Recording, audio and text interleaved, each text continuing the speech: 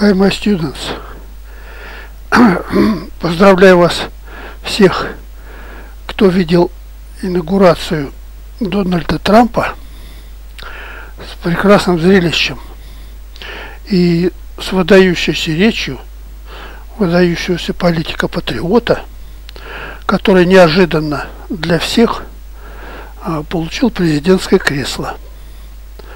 А, уповая на чаяние самых обездоленных слоев населения и обещая передать власть именно этому обездоленному классу населения. Ну, то есть речь его была совершенно социалистическая.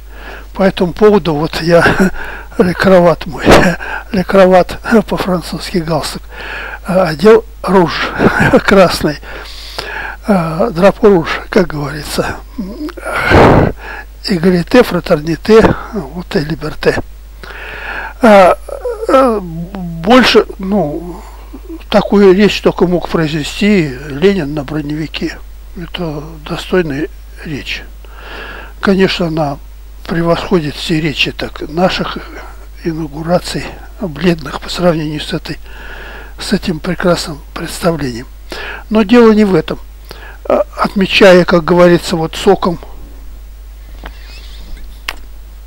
вступление Трампа, который, кстати говоря, уповает на Господа Бога в своем служении и за один доллар правит государством.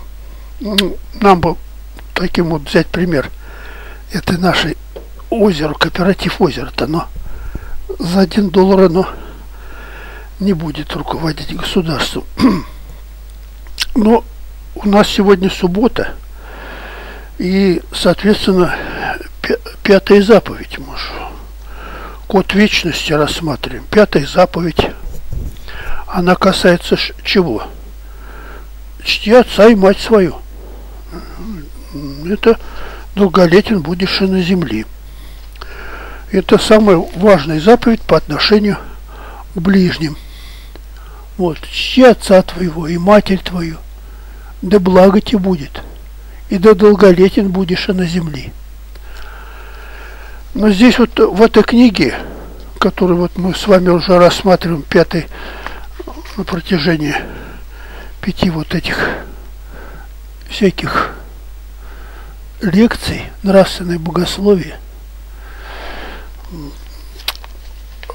вот, вот э, здесь по отношению к родителям, не только к родителям рассматриваются грехи, но по отношению к ближним вообще – потому что под родителем это широкое понятие родители. В частности, и президенты туда входят ведь родители. Мы даже о президентах не должны думать хульного слова. Даже в мыслях своих э, э, царю своему хульного слова даже в мыслях не произноси. Это вот относится к этой же заповеди, чти отца и мать свою. А мы что делаем вот в Америке, в частности? Ну что, вот инаугурация Трампа. Ну, идиоты вышли, начали громить Макдональдсы, начали бесчинствовать. Это что, порядок? Нет. Выборы же состоялись, выборы честные. Выборщики выбрали Трампа, выбрали. Ну, конечно, Клинтона на, на 3 миллиона больше голосов взяла. Но по своему состоянию здоровья она не, не тянула. Видно, что она уже лаяла там, психически, какое на нее было воздействие телепатическое, мы потом рассмотрим, когда будем рассматривать вот это вот ничего, лубянскую ничего. Вот. А воздействие на нее было большое. Но неважно факт то, что она не выжила по, по здоровью. А у него три тройки здоровья. У него лошадиное здоровье. И в 70 лет он а, самый старый, Аденауэр, по-моему, только в 90 лет стал президентом Германии. А Трамп вот 70. Это человек, э, как говорится, возрастной уже. Но здоровье у него хорошее, несмотря на, на все. И вот эти вот э, оголтелые публика, которая не согласна с его речью, а, а речь-то она была ведь справедливая, справедливая. Она была по Евангелию, по Евангелию. Не противоречила словам Христа, не противоречила Jesus Christ, он произносил такое имя. Jesus Christ. Это по-ихнему Иисус Христос. Он на Библии, на двух Библиях э, положа руку. А у нас на Конституции. А что там Конституция? Она написана в Вашингтоне. И там слово Бог не произносится. У нас на Конституции вот они клянутся. А Конституция сегодня одна, а завтра она ее подсунули под зад себе, подложили и все. Дальше не выполняют. Ну, кооператив озера, что с него взять? ОПГ. ОПГ. Но не в этом дело. Вот мы рассмотрим, значит, э, пятую заповедь. Чти отца твоего и матерь твою, и, и благо будет тебе, долголетен будешь и на земле. Вот какие у нас грехи, вот у меня лично. Я про ваши не говорю, я про свои, потому что исповедуюсь. Но параллельно вы можете отметить, посчитать, какие грехи бывают у людей вообще. Таких, как я, например, мало продвинутых. Вот грехи детей. Это мы вот дети по отношению к своим родителям. Холодность к родителям. А матерных болезнях и родительских не забывай, в Евангелии написано. А, ну, мы же не, не животные, у нас э, должно быть э, все это дело соблюдаться. Это животные, они не к своим родителям могут даже поедать своих родителей. И наоборот. Я, здесь очень много грехов у меня, поэтому я буду только вот перечислять, э, в основном перечислением заниматься. Ну, понятно, что холодность к родителям, это зачастую сейчас у нас у каждых, а сейчас даже вот дети-то, они уезжают в другие города, в другие страны, там в Америку, и все, а родители остаются там одинокие, в квартирах своих живут, там смотрят за них неизвестно кто там из соцобеспечения. И на произвол судьбы их бросают. И если позвонят раз в год, с Новым годом их поздравить, то это хорошо, это еще уже прекрасно. Вот. Непослушание воли родителей. Чадо, слушайте своих родителей о Господе. Все бы есть праведно. Ну вот мы не слушаемся тоже. Я, например, не слушался родителей никогда. Мне говорят, вот это с этим не дружи, я наоборот дружу с этим человеком опущен. И э, в компании нехорошей, там карты, туда все пятое, десятое. Никогда не слушаюсь, надо заниматься, а я сплю на занятиях. Вот э, это же в основном грех. Это понятно, да? Мой грех. Ну, не ваш, конечно грубое, грубое обхождение с родителями, укоры им и злословие их. Ну, начиная с малолетства, вот родители, если упустят воспитание, ребенок в магазине начинает падать на пол, топать ногами и руками, купи мне вот это вот именно вот эту вещь. А дальше он, купи iPhone, купи там MacBook, этот, и iPad там и так далее и тому подобное. И это, и это все купи. И вот это вот шантаж родителей. Или укоры. Вот ты не можешь мне купить, а у, у этого, у Феди родители купили такую штуку. А Федя это друг его. Вот, вот это грех, это грубое обхождение, это и, и, и грех, соответственно, вот вытекает.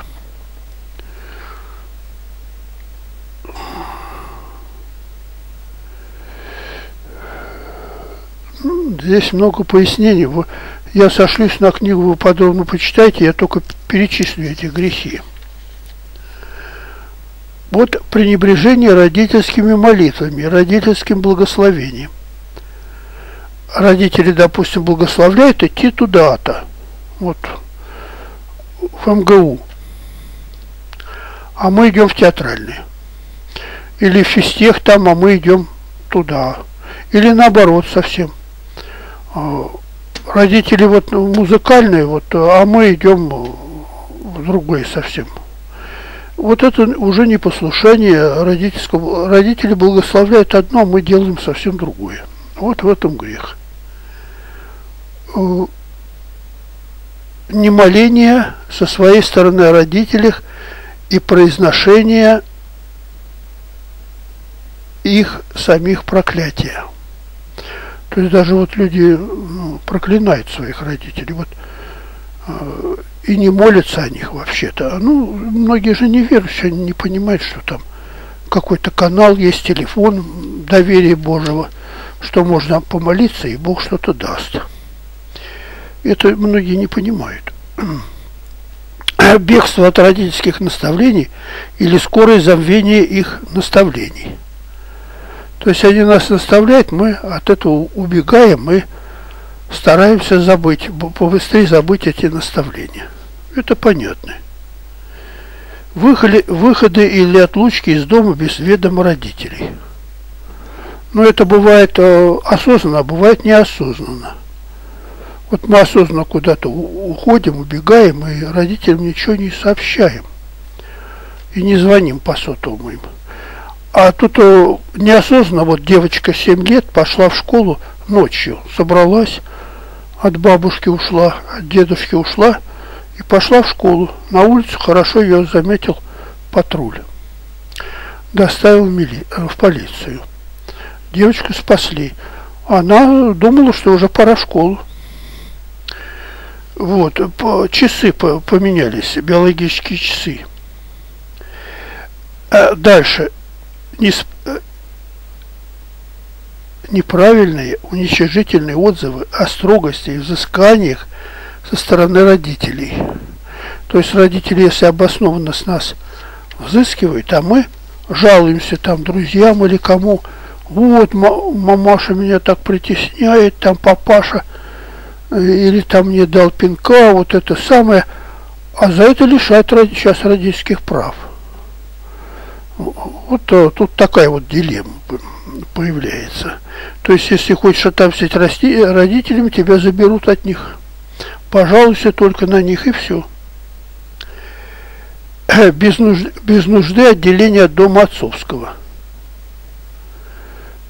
Ну, здесь, э, как говорится, раздел имущества получается свою долю без нужды, особенно это нет нужды, это не женился, ничего, а свою долю пытаешься получить, и тем самым хозяйство отцовское опускается.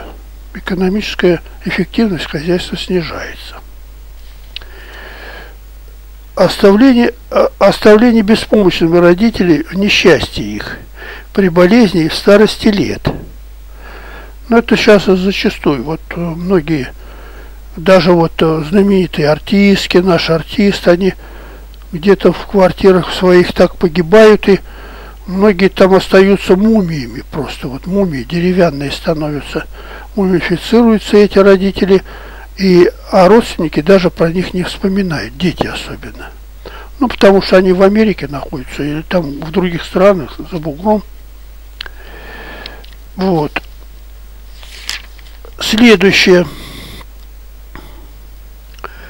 не предоставление престарелым родителям возможности более готовиться к будущей жизни или только не предложением этого. То есть так-то по Евангелию должны родители готовить. А что значит готовиться? Ну, значит, э, морально, во-первых, э, в церковь ходить, там посещать церковь, это э, молитвы соответствующие читать. И кроме того, значит, собирать свой, себя в последний путь, там, какой-то узелок себе, во что одеться, в эту самую э, деревянный дом-то свой последний, одежду, и, может быть, э, местечко бы надо заготовить, вот купить местечко уже участочек, где это будет домик расположен последний, последнее прибежище, говорится. Вот это вот э, родители, если не могут, то это дети должны помочь родителям. А, обеспечить их э, подготовку к следующей жизни. Поскольку вот мы лекцию читали про Лейбница, монодологию, жизнь она не, не прекращается, она просто формы свои меняет. И все время нету ни смерти, ни рождения как такового, их нету. А есть непрерывные просто, ну также в Евангелии, вы смерти не узрите никогда, если веруете в Иисуса Христа, то Смерти не узрите вы никогда, а перейдете от смерти к жизни. То есть э, для, для наружных это будет э, как бы ваша кончина, но для вас это не будет кончиной. а, поскольку Иисус Христос за, за вас пострадал, за нас, то Он обеспечил нас вот этот вот переход плавный по жизни. А смертью своей смертью Он нашу смерть поправил. И сущим в гробе живот даровал. Вот такие дела. Но мы должны к этому все равно готовить своих родителей. Все ему для этого обеспечивать. Ложная стыдливость за простых родителей. Ну, это вспоминается такой вот рассказ. Помните, вот станционный смотритель. Станционный смотритель, он, жена у него померла, а осталась одна единственная дочь. Он ее лелеял, холил, воспитывал, кормил, обувал, одевал. Это, и под конец мимо этой станции проезжал такой важный человек, который заметил эту дочку и взял ее себе, у... она уехала с ним. Ну и вышла за него замуж.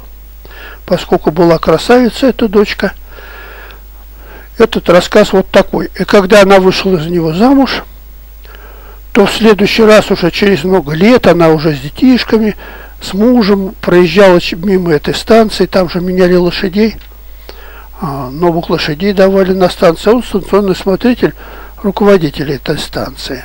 Но это небольшой чин по тем временам. И когда она приезжала, она постеснялась э, показать, что это ее отец. А постеснялась перед мужем, перед детьми, чтобы не показать, что вот у нее такой безродный отец. Рассказ наберите станционный смотритель, и вы увидите, как это слезы проступают, когда читаешь этот рассказ? А, непочтительное отношение а, к тестям, свекрови, к отчиму и мачехе. К отчиму и мачехе.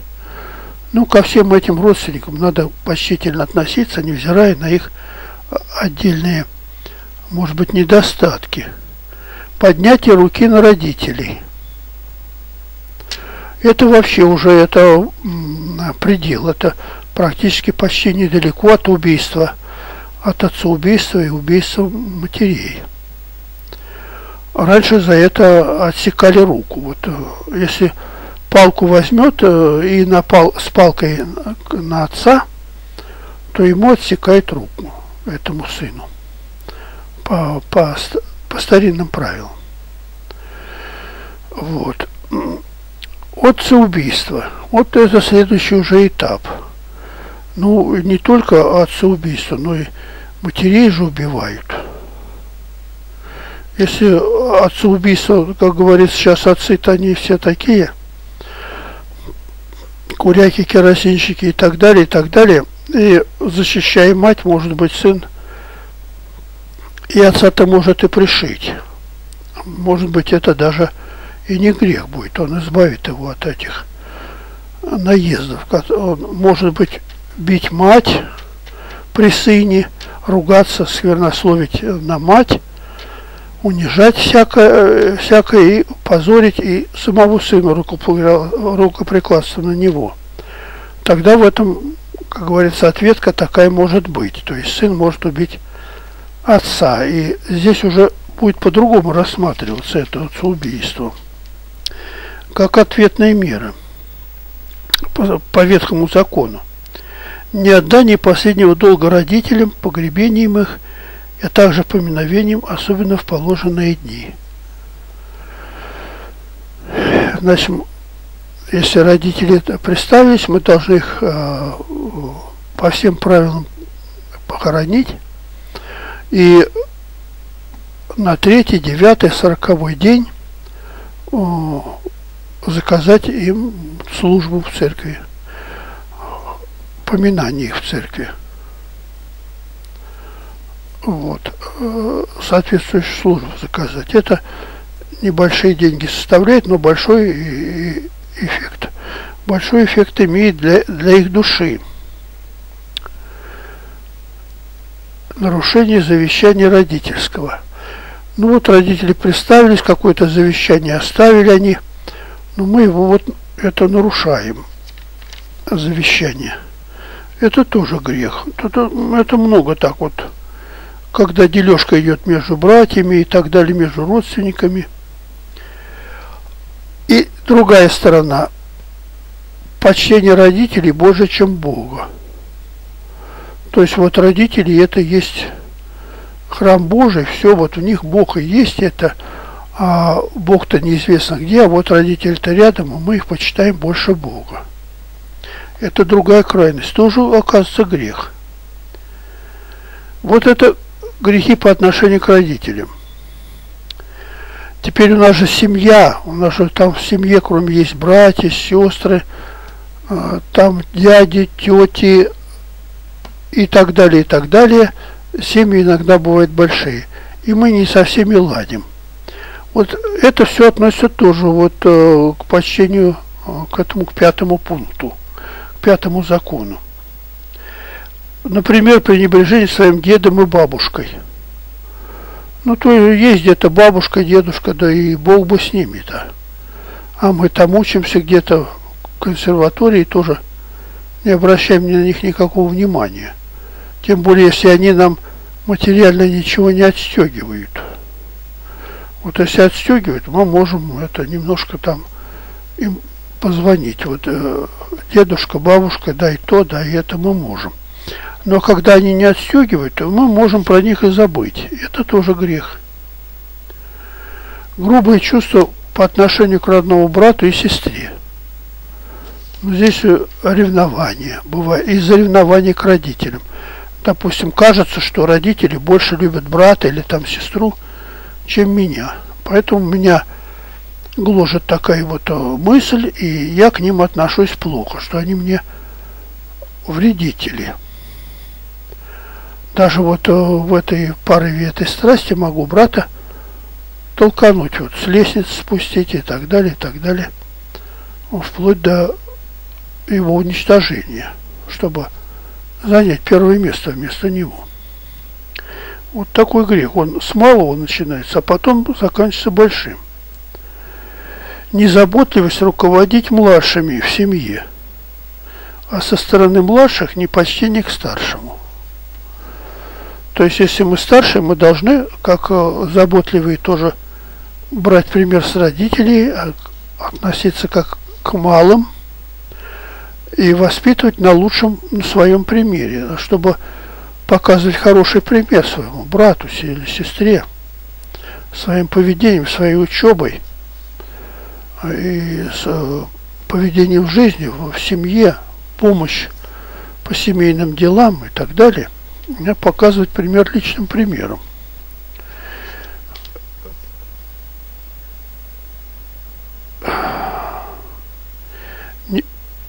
не любовь а, к приведенным братьям, ну то есть а, еще кого-то родители берут, допустим, из детдома, и, а мы тоже вот ревнуем, что вот из детдома они взяли кого-то постороннего.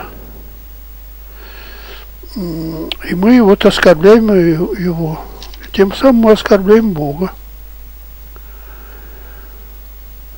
Без нужды а, раздел с братьями – то есть вот живем все в куче, в коллективе, в колхозе. Экономика одна, мы потом разделяемся, и получается, как бы мы разделились на два колхоза, эффективность в два раза падает. То есть это и на экономику семьи сказывается, и на моральное состояние, то, что не доверяешь брату не, не своему или сестре вражда и тяжбы с родственниками. Это бывает сейчас часто, особенно в связи с разделом имущества. Там родители померли, дом делят, вплоть до, как говорится, вот, э, умирать буду, но никогда не помирюсь, не прощу. Вот так вот думают или говорят такие люди. А предательство беде какой и на самую смерть своего брата или сестры. То есть э, уже э, хищнические, когда инстинкты срабатывают, подставляем брата-сестру, чтобы завладеть всем имуществом родительским.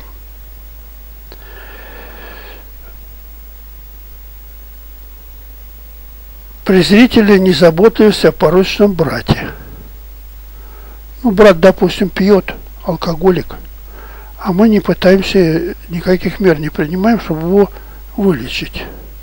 Не везем по врачам, там это э, психоневрологический диспансер его не кладем, это э, врачей не, не вызываем к нему, не проводим с ним беседы, редко бываем даже у него дома.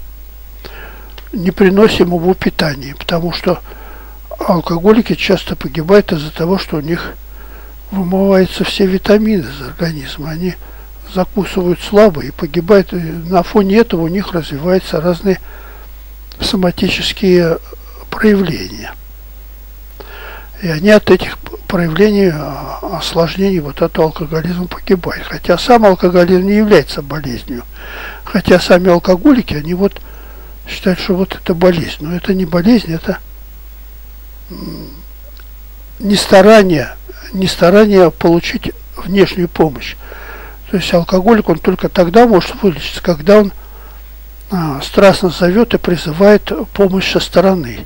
Приходит, допустим, к врачам, все, это, спасайте меня, это, я сам не могу спастись, давайте что хотите, делайте, но я пить не хочу, спасайте меня. И в этом отношении вот лечение всегда помогает. Или, допустим, там, а, если он верующий, вот молится в Бонифатию святому, неупиваемая чаша и другие такие святые, которые помогают от алкоголизма. Ну вот мы это, будучи братьями таких алкоголиков, мы это не делаем, а мы должны тоже молиться о них, а вот э, за них и прибегать всеми мерами, чтобы вывести из этого их состояния алкогольного. Пренебрежение простыми братьями и родственниками, а вместе с тем отказ бедным в их пособии. Ну, это понятно. Мы вот находимся, допустим, вот какое-то важное место занимаем, банкиры и так далее. У нас, как вот в сказке-то говорится-то, телебом-телебом загорелся кошкин дом. Вот. Кошка она выбросила своих этих родственников, котят-то. А, а потом у нее дом загорелся в связи с этим.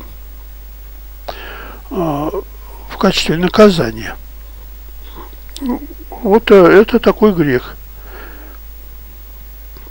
Не, не отдание достойной цены чести умному родственнику – вот у нас родственник, допустим, какой-нибудь кандидат наук, допустим, вот и это в, ми, в самом худшем, или доктор, или член корреспондента, академик, а, а мы его считаем за дурачка.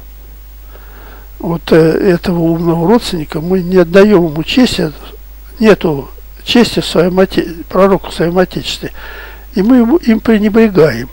А, это бесполезно, это это же доктор наук. Что он уже дурачок? Или там как академик. А вот э, этот вот, вот банкир, вот около него деньги крутятся. Или там вор в законе. Вот какой хороший человек. У него, у него все, весь общак. Он отстегивает иногда-то, помогает. А вот этот вот родственник, он значит, никогда не годный от него, он сам там получает копейки. Пристрастие к своим родственникам. Вот это протекционизм. Это наоборот, это мы берем, допустим, родственника, вот, как у нас это, кто у нас там, Пчелкин-то этот, э, или как он, в этом, ничего-то, Лубянском-то, как у Портников-то, Пчелкин, я его называю Пчелкин. Ну, он как пчелка, это деньги, спекулирует деньгами. И у него уже сын уже председатель правления всех банков. Он сам экономист, этот Пчелкин. И он э, уже создал целую систему там родственников, вот это спекулятивный капитал себе. Вот это протекционизм. И также вот Зюганов, вот Капараев. У него сын уже там обращается, капиталист крупный. И он, а сам Зюганов, он делает вид, что он с капитализмом борется. Но также вот э, взять ну, с нашего уважаемого вот, президента дочку свою вот устроил на какой-то фонд. Вторую дочку припихнул туда. Но это пристрастие вот называется к родственникам. И все также у нас вот эти вот верхушка вся она, своих родственников везде уже, и сейчас уже вот открыв, надо открывать еще министерство, чтобы пристроить уже много роднитов. И надо на кормушку, вот пилеж бюджета, устроить своих родственников. Для этого открывается совершенно ненужное министерство, службы, ведомства, комитеты, э, всякие фонды и так далее и тому подобное. Это называется протекционизм.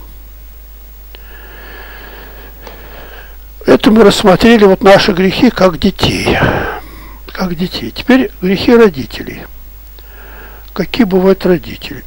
Порочное состояние духа в минуты зачатия дитяти и нравственное невнимание ко всему времени беременности. Но это очень важный момент.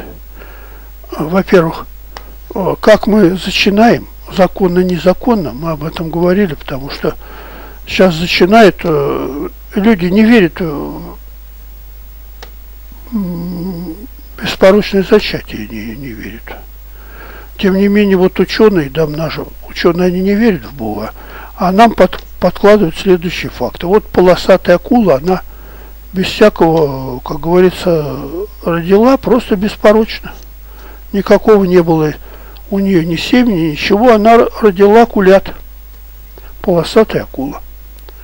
И это в природе, говорит, очень часто бывает. Вот такое партогенез такой вот этот происходит. Партогенез. То есть беспорочное зачатие. А мы в него вот люди-то не верим. Оно есть и в растительной природе. Э, беспорочное зачатие есть. И вот в животное, видите, оно как проявляется. А если же мы зачинаем, мы должны как-то помолиться, благословение получить сначала, ну хотя бы. А если у нас нету, допустим, справка, анализ крови, у нас не пляшет, а мы ложимся, зачинаем дитя. Значит, какое дитя-то будет? Для кунсткамеры. Урод. А так сейчас уродов-то рожается сколько? Двойных, склеенных, там, сиамских и так далее, как вот на гербе у нас петух-то сиамский. Это вот символ вот этого порочного зачатия. Он слипся, две головы у него. Два крыла, ну и две головы, а всего лапы две. Ну это урод настоящий, мутант, петух-мутант. Вот петуха, кстати, сегодня. Но не в этом дело. Э, вот это вот э, то есть мы должны зачать здоровые и от здорового родителя из благословения, то есть э, благословение получить. А потому что некоторым батюшкам видно, бывает, э, ваша вся эта предыстория, и будущее, настоящее, даже некоторые продвинутые дети, дети индиго, и то видят все насквозь вас. Физическое не... А да, еще когда вы зачали – тоже надо смотреть, не плясать, не прыгать, не бегать на дискотеке, чтобы не выкинулось дитя. И к тому же вращаться в таком все в красивой культурной среде, чтобы музыка звучала не рок железный, как вот у айфончика там этот железный рок он любит, а хорошая классическая музыка там, э, успокаивающая, все такое, и в то же время разговоры, вот э, мать когда ведет, он, ребенок все слышит, он вот это вот все а, откладывается. И ребенок уже рождается, имея какой-то багаж. Как Лебниц, он спорил же с этим, с. А, он утверждал, что уже имеется что-то на этом, на, на, диск, на диске на нашем, когда мы рождаемся, уже какой-то исходный а, бутрекорд э, есть, бутрекорд приспособление к окружающей среде, это, в которой мы рождаемся. А, вот, вот таким образом. Теперь физическое небрежение себя во время беременности, отсюда ранний и мертвый род. Но я об этом сейчас вот только и говорил. Там пляски и так далее, ночью не спим. И вот отсюда выкижи. принятие мер к избежанию зачатия. Ну, мы вот живем для удовольствия, и это вот э, процесс зачатия у нас идет как, как конфета, там, шоколадка вот. И мы это какое-то удовольствие испытываем, а, а последствия мы не думаем. Так же, как она шоколадка, она тоже вредна, и сладкая для детей вредно, также и для взрослых тоже все это вот э, временные, секундные там, эта сладость, она потом превращается в горечь и многолетние болезни. А, естественно, э, должно быть совокупление только с целью зачатия дитя. А если вы просто совокупляетесь для а, удовольствия, то это делают и дельфины. Они тоже для удовольствия. Ну, они то дельфины, ни рук, ни ног у них нету. Они только вот этим и занимаются тогда, получается вот это, и вот чтобы это удовольствие получить, а, а зачать боимся, мы принимаем разные таблетки, там контрацептивы, презервативы и так далее и тому подобное. Ну, церковь выступает против этого. Ну, церковь права, ну, ничего здесь не скажешь. Она, в данном случае, она на стороне нашего здоровья стоит. Поэтому нам надо от этого вот э, какой-то подсели мы на эту Наркотик этот сексуальный, и мы должны с него слезть, как вот нефтяная игла, этот наркотик. Изведение в утробе убиение младенца за рождением своего младенца. То есть, если на аборт это все грех, это аборт, это, ну, как бы 105 статья убийства. А, есть же 105 статья. Ну, вот аборт это 105 статья убийства. А, дальше если его родили уже здорового, там кто-то рождает, он его бросает. Ну, это сейчас вот гастробайтеры, а, женщины их жены, они бросают прямо в туалете, там где-то на пороге, на помойку бросают, завернут и бросают на помойку. А, то есть умерщвляет, там бросает на холоде и так далее, и так далее.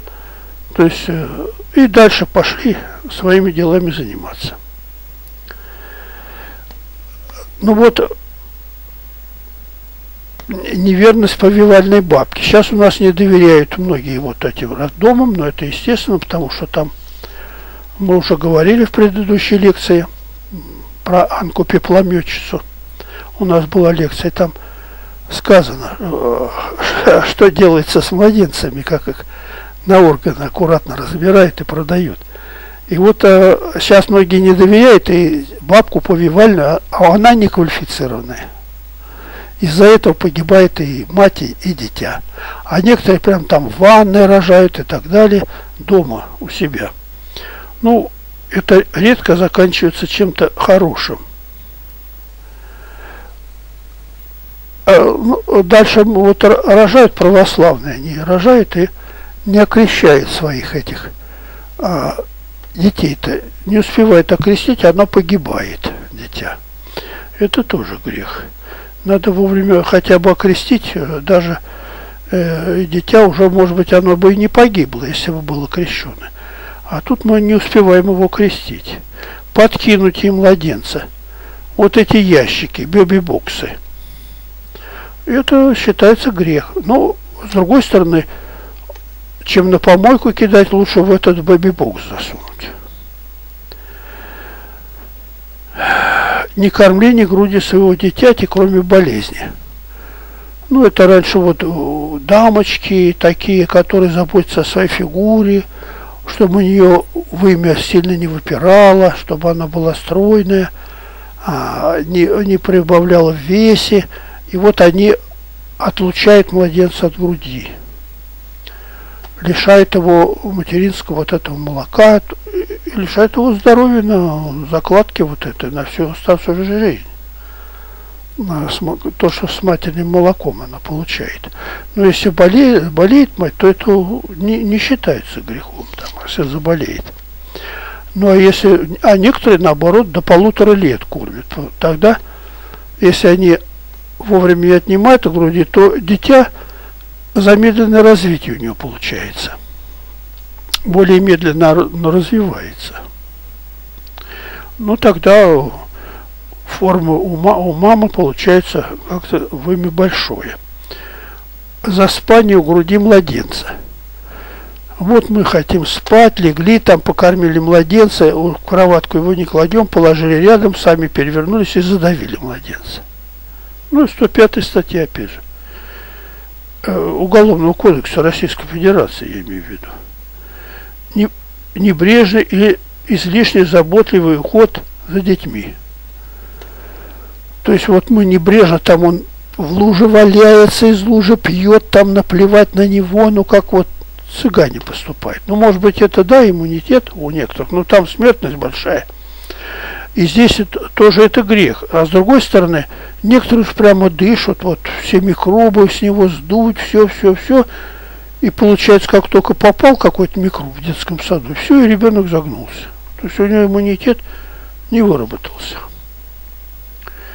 Не учение детей с раннего возраста молитвам и не поручение им хождению в церковь, всегдашнее пощадение их, будить в зал. Ну, рано будить в церковь ну, нельзя, ребенок пусть поспит, наберется сил, ведь во сне там нервные клетки восстанавливаются и так далее, родители жалеют. Но это может быть и грех-то грех, да, но с другой стороны в Евангелии говорится, что Иисус Христос сам призывал родителей приводите детей ко мне оставление надолго дитяти без приобщения, то есть э, и незаботливость начать исповедь после 7 лет. Но здесь вот такая, такой важный момент, что э, дети до 7 лет отвечают за грехи своих родителей. И они болеют за них до 7 лет. А после 7 лет они уже за свои грехи отвечают, и здесь они обязаны уже исповедоваться, причащаться водить их надо. Тогда у них будет успешная учеба и все такое прочее. Развитие нормальное будет. Защищенность. А дальше вот а, нас касается представлений к детям для воспитания иноверцев. Но это повелось с 1812 года, когда француз почти всю Россию завоевал и и много этих французов потом, французишек, оказалось в плену. И вот, чтобы их куда-то деть, этих французишек, францужев, француженок, они их совали в губернеры, чтобы дитя научилось французскому языку, разговаривать, там, читать, писать и, а, по-французски. вот, ну а у них же вера другая. И вот с этого, с этого момента, с 1812 года, 14 оно и пошло вот это все разложение на Руси. Оно сейчас продолжается. У нас же сейчас считается как, ой, знать два-три языка знает это вообще уже. А на самом деле это просто козел. Он, он не русский человек. Он, как говорится, международный. Вот это говно в проруби, как говорится. Международной проруби. Вот таким образом а, и вот в результате мы представляем там насильно и так далее, ломаем, взламываем эту нашу код защиты русского языка, взламываем и вместо подселяем вот эту вот э, сущность французскую, не всегда чистую, англо-франко-немецкую эту сущность, которая переворачивает уже потом всю судьбу страны.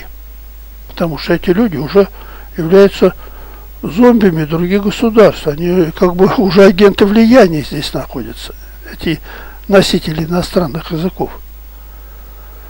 И мы удивляемся, вот такой тупой человек, ему никакие иностранные языки не даются. Это как раз это и есть русский человек, у него защита мощная от взлома вот этой иностранной всей системы. От зомбировки защита.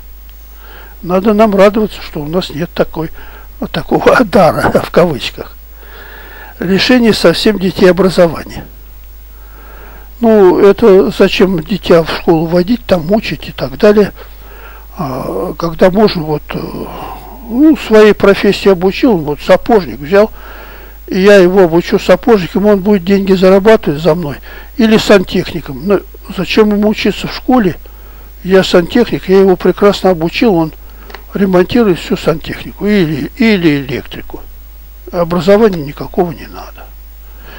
Вот это вот э, тоже уже грех. Надо, как говорится, мировоззрение, чтобы человек был не только не роботом, а э, активным членом всего общества. То есть он, чтобы влиял на проблематику и не столько своей вот этой, а, не как вот робот вот был бы, а сознательный член общества. То есть участвовал в эгрегоре в конструктивном, который создает это наше общество.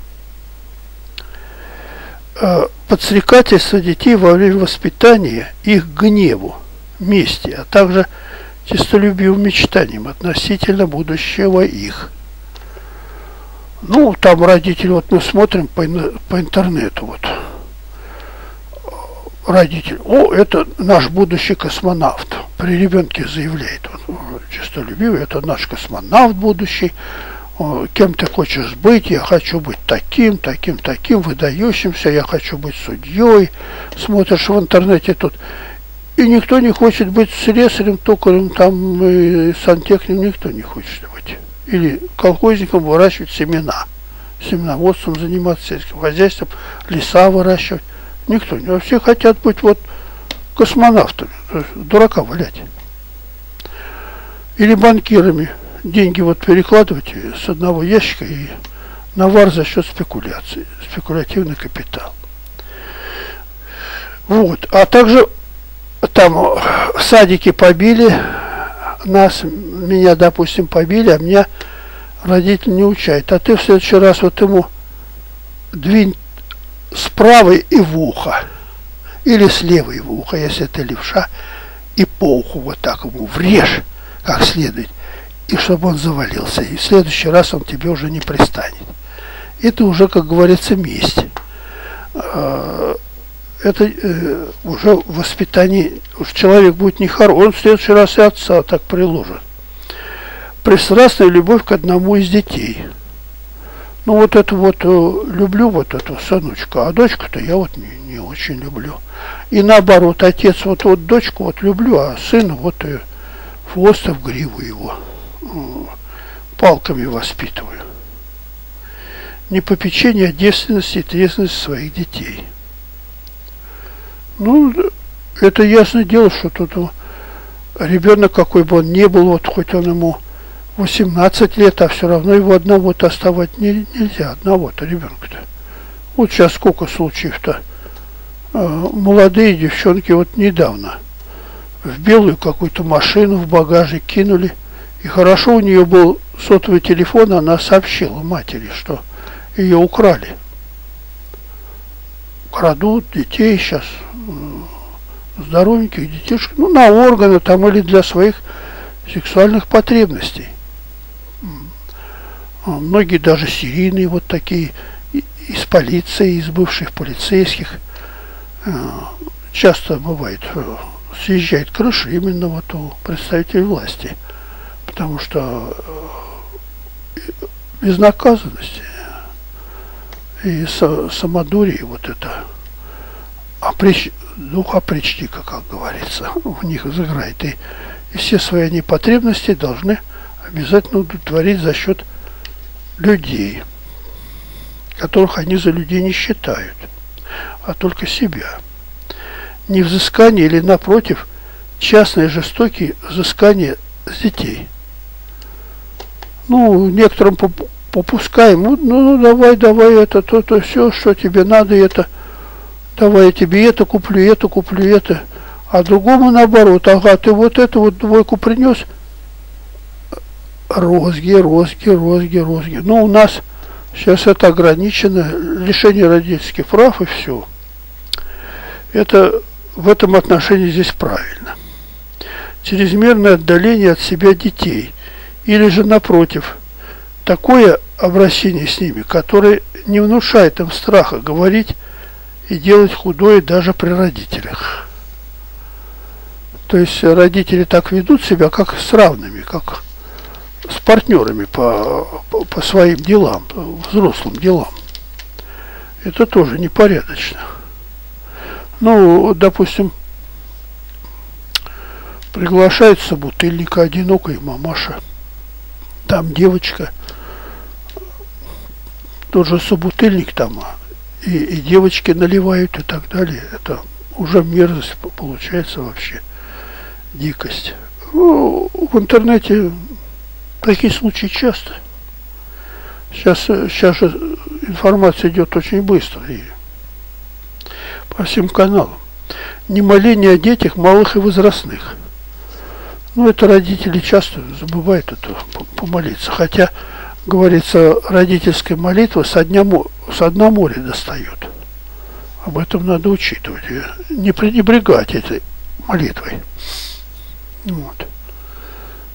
Стеснение детей в делах богоугодных. Ну вот э, ребенок хочет, вот я пойду сегодня в церковь там свечку поставить, э, дай 10 рублей, я пойду свечку поставлю там, э, помолюсь там, сегодня праздник. Ну это ограничивать нельзя, конечно. Лишение детей без причины родительского благословения. Ну, вот э, ребенок там э, пошел в институт или там жениться захотел или а может быть в секцию в какой поступить. Ну, ему это хорошо, идет и все такое прочее.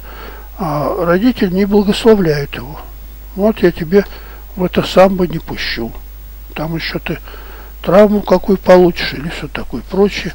А, или футбол, я тебе не разрешаю, еще ноги сломаешь там. Проклятие на детей. Ну, мы знаем, что всякое проклятие это от лукавого. То есть проклятие, оно не от человеков идет. Проклятие всегда от лукавого. Ну, Бог никого не, не проклинает, и, и люди, в принципе, не от себя проклинают, а от лукавого. Намеренное перед детьми унижение отцом и матери их или матерью отца их. Ну, это сплошь и рядом. В семье скандал, ребенок все наблюдает отец ругает мать, мать ругает отца. И все это на глазах детей. Поэтому вот э, это очень большой грех. Особенно, когда детям до трех лет. Явные соблазны собственным детям. У поведения распущенное. Даже вот при детях нагишом ходят, допустим, вот родители некоторые в баню там нагишом с детьми и все такое прочее. Э, это распущенность. И, и таскают их по нудистским пляжам и так далее. Ропот на многочатие или на большую семью.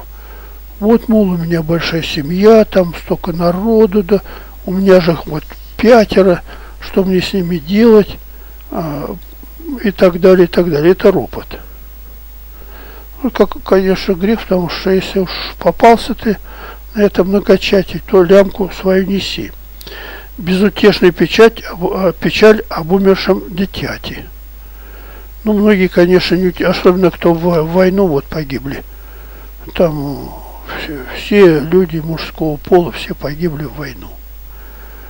А, бабушка переживает все. Конечно, она переживает всю жизнь. И на этой почве у нее образуются болезни. То есть она в своем печали, в своем горе она не останавливается. Это грех лишение взрослых и отделившихся детей всякой поддержки и наследства. Ну, там живет там, и, пусть себе живет. Чего его поддерживать? Пусть сам работает, воспитывается. А, как говорится, вот э, плавать учат, бросают в эту воду, и пусть он сам плавает, выплывает как хочет. Ну, в Америке там многие же миллиардеры даже так своих детей воспитывают. А, иногда это закаляет, а иногда, а иногда опускает детей. То есть некоторые нуждаются в помощи, в, нач в начальной помощи, а дальше они потянут, потянут. То есть так же, как автомобиль, вот его надо подтолкнуть из этой грязи, он тогда поедет. Начальный толчок дать, выбрался, он зацепится уже за почву и идет дальше этот автомобиль. Также и многие дети. Непонятливое вмешательство в умные, дитя. Э, в умные дела взрослых детей. Непонятливое вмешательство. Ну, то есть вот сын, допустим, где-то там в Думе заседает или там это, а ты ему даешь указания этому сыну. Что ты там какие-то законы напринимал-то? Что ты там напринимал? Давай вот так, вот так, вот так надо делать. А ты делаешь вот так. Или вот это вот сын, допустим, доктор наук, академик, а, а ты ему говоришь, ну что ты вот все, все формулы пишешь, занялся бы делом. Что ты эти формулы там нужны тебе? Кому не нужны твои формулы? Вот это тоже грех. Ну, занимается человек, а мы это не понимаем. Вмешиваться не должны. Притеснение своих пасынков и падчериц. Вот а детей набрали, сейчас вот детей набирают для, для денег в основном, потому что там пособия платят какие-то на детей. Вот они собирают детей 12 а на, наберут, и, и у них уже смотришь, за счет них они кормятся. А обращают э, на них внимания никакого. Они у них там в грязи живут. У детей не установленных приемышей. Но это в Америке тоже де, де, дело Димы Яковлева. Вот оно же было, но сейчас хотят его отменить, это а, закон Димы Яковлева, которого умертвили там приемные родители. Ну, это там часто, а многие там вообще на органы разобрали, об, об этом у нас не говорят. Оставление без всяких опеки незаконных детей. Ну вот, э, допустим, Ротшильд, вот он со служанкой нагулял, Адольфа Шекельгрубера, то его дали кликуху Шекельгрубер или Гитлер.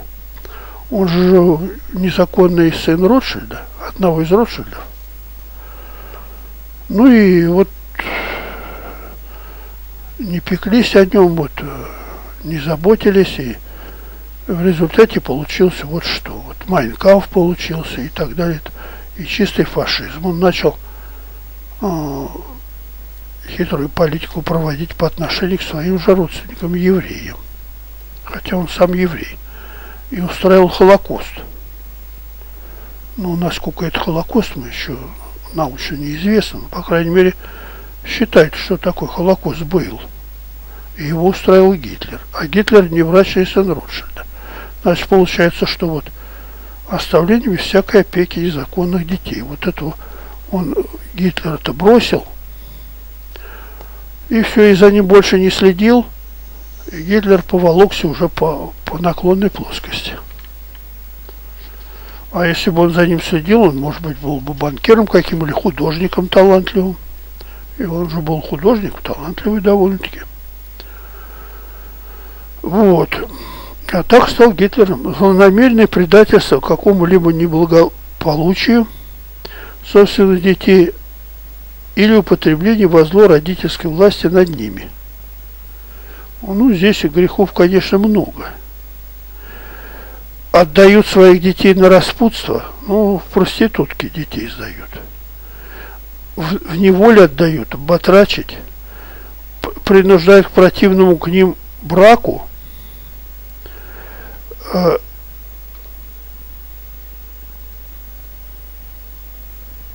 или удерживает дочь от замужества хорошего, не выдают замужество дочерей по своей скупости, избегая необходимых расходов – по нетерпимости забывают своих детей и так далее, желают им смерти, например, больным и убогим, наконец. И, дел, и, и иногда даже вот делают свои детей инвалидом и для получения милостыни. Ходят с ним, потом получают милостыню. Холодный, вот там подайте этому, вот на лечение такого-то, вот у него такое заболевание. Они сами сделали этому заболеванию холодные чувства к внучатам и незаботливость о внучатах. Ну, это часто бывает, потому бабушки вообще очень плохо о внучатах. И часто бывают случаи, что катастрофы с детьми получаются именно при бабушках, когда они живут в деревне. Там они себе и конечности ломают, и погибают, и тонут. А бабушки не очень-то за ними смотрят. Потому что они заняты своими вопросами, обсуждают, а они у них там отдельно, как куры, гуляют по, по двору, по двору. Вот таким образом. притеснении своей невестки или зятя. Зять, а хрен ли с него взять, как говорится, да? То есть, если зять тебе ничего не дает, можно его притеснять. Излишняя любовь к своей семье до равнодушия к крайним нуждам других семейств. Ну, то есть, э, даже бывает вот две сестры, а одна сестра живет вот с нужными своего мужа-алкоголика и дочки своей избалованной, а вторая, э, допустим, у второй дети живет в нищете, трудится, как пчелка, а, и та одна сестра другой совсем даже и не поможет другой семье, даже среди близких. Не попечение о крестниках.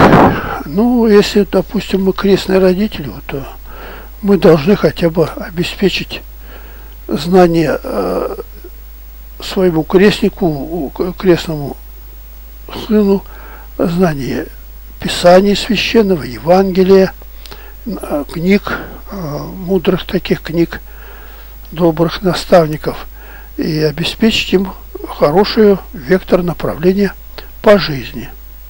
Ну, многие этого не делают, просто вот покрестят и все, положено вот.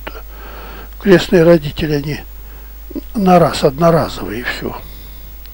Непочтение крестным родителям. Ну, вот мы крестных родителей даже и не поминаем. Вот их даже нету, вот, а мы должны их поминать как своих родных родителей.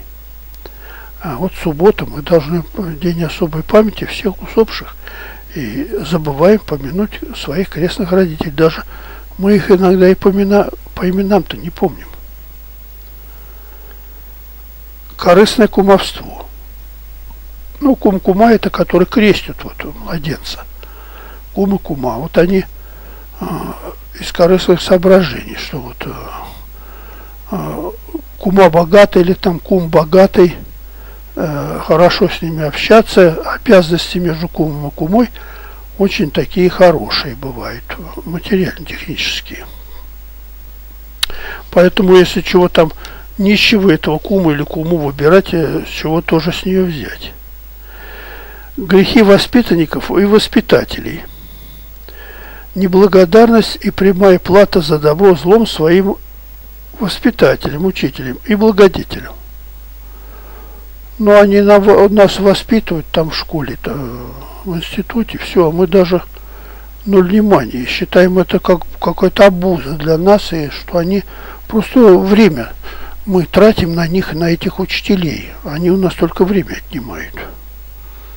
Вот, а, а они стараются. А мы с ними вплоть до войны ведем. Ну, я мог бы по отношению к себе сейчас пример привести, как я грешен в этом отношении. Э, но не буду, это долго рассказывать. Забвение добрых предостережений для жизни со стороны закона учителя или учителя. Вот учитель предупреждает, то нехорошо, это нехорошо а мы пренебрегаем. Или вот тебе надо вот этим заняться, тебе вот этим бы хорошо заняться. А мы пренебрегаем, да? Подумаешь. И не почтение к старым людям. Ну, это там у нас даже ноль внимания на этих старых людей. Они там где-то падают, валяются, через дорогу переходят. У нас нигде не посыпано дороги, никто не убирает. Даже вот в больших городах, как в деревне идешь скользко, каша вот этой, как они с клюшками передвигаются, но никто на них внимания никакого не обращает. Редко кто вот э, через дорогу переведет, это редко, но школьники в этом не замешаны. Старание заслужить любовь у своих воспитанников потворством им. Но это многие так преподаватели вот э, э стараются угодить, особенно вот э, детям таких важных родителей – они за ними заботятся, как э, гладят их по головке, вот такой хороший, и больше внимания ему уделяют. Ну, многие даже э,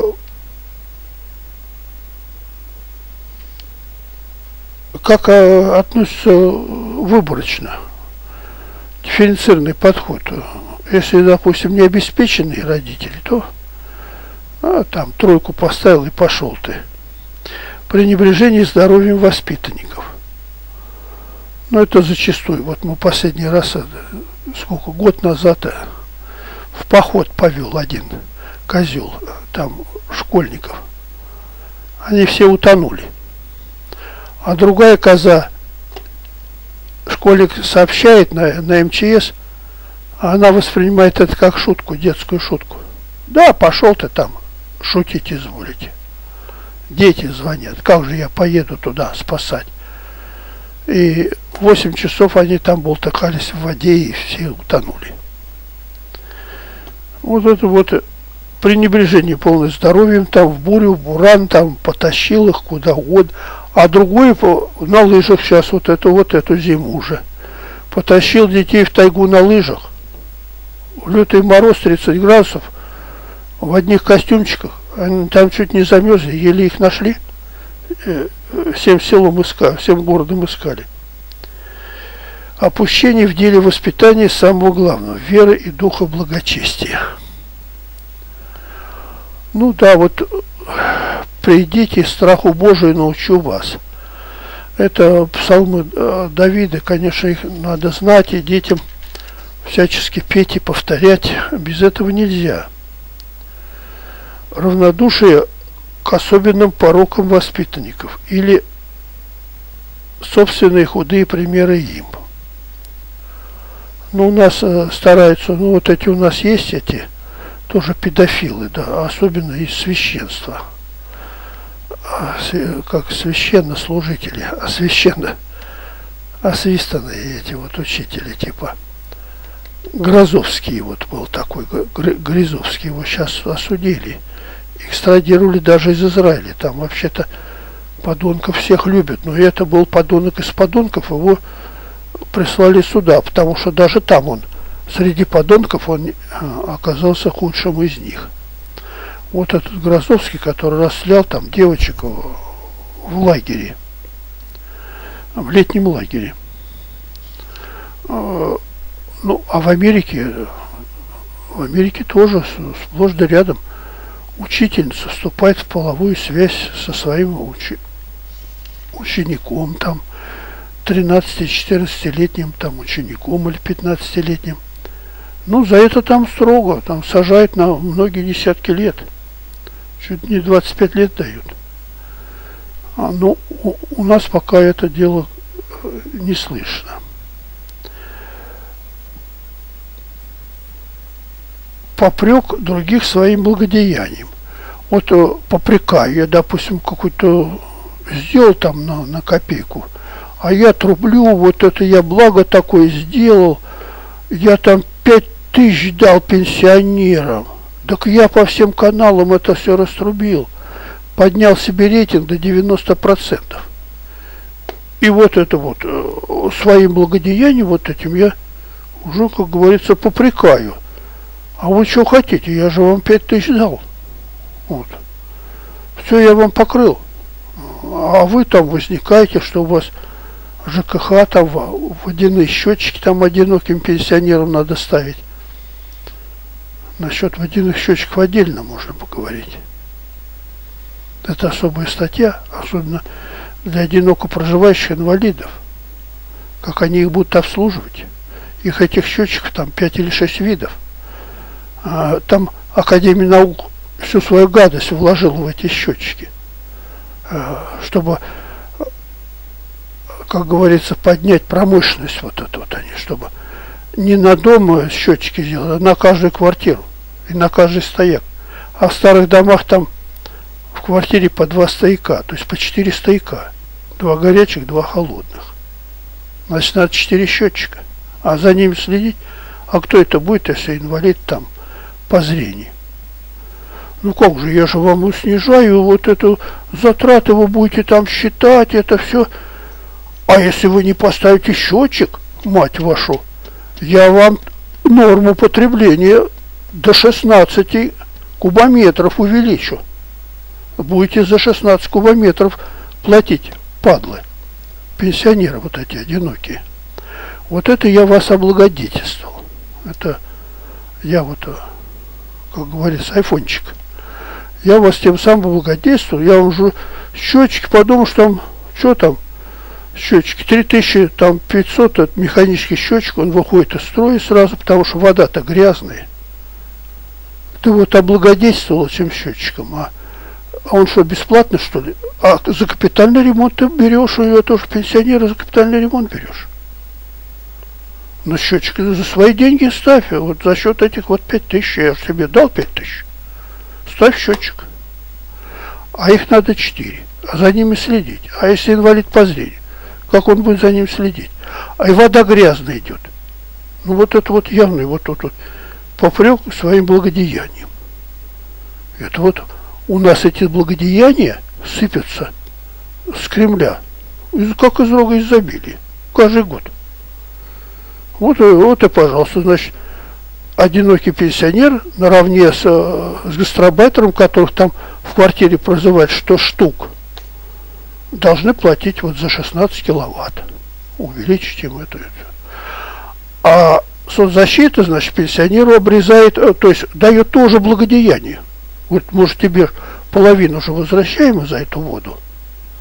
Но половину-то, извини, если ты платишь 100 рублей, то половина 50 рублей, а если тебе в 4 раза подняли, ты уже платишь 400 рублей, у тебя уже из твоей пенсии 200 рублей-то вычитает вместо 50. Простая арифметика. Вот оно благодеяние это обращается во что? Относительно, значит, вот это вот наших благодетелей кремлевских. Ну, это другое дело. Мы сейчас об этом счетчике отдельно. Там научная проблема, экономическая, политическая и социальная. Четыре проблемы. Научная проблема – это Академия наук. Здесь вообще буква «Г». На нее надо поставить букву «Г». А, а большая академия Г наук. А, вот эти счетчики, это все Г. Дальше водоснабжение тоже и так далее, и так далее. Экономическое это мы говорили, политическое тоже говорили.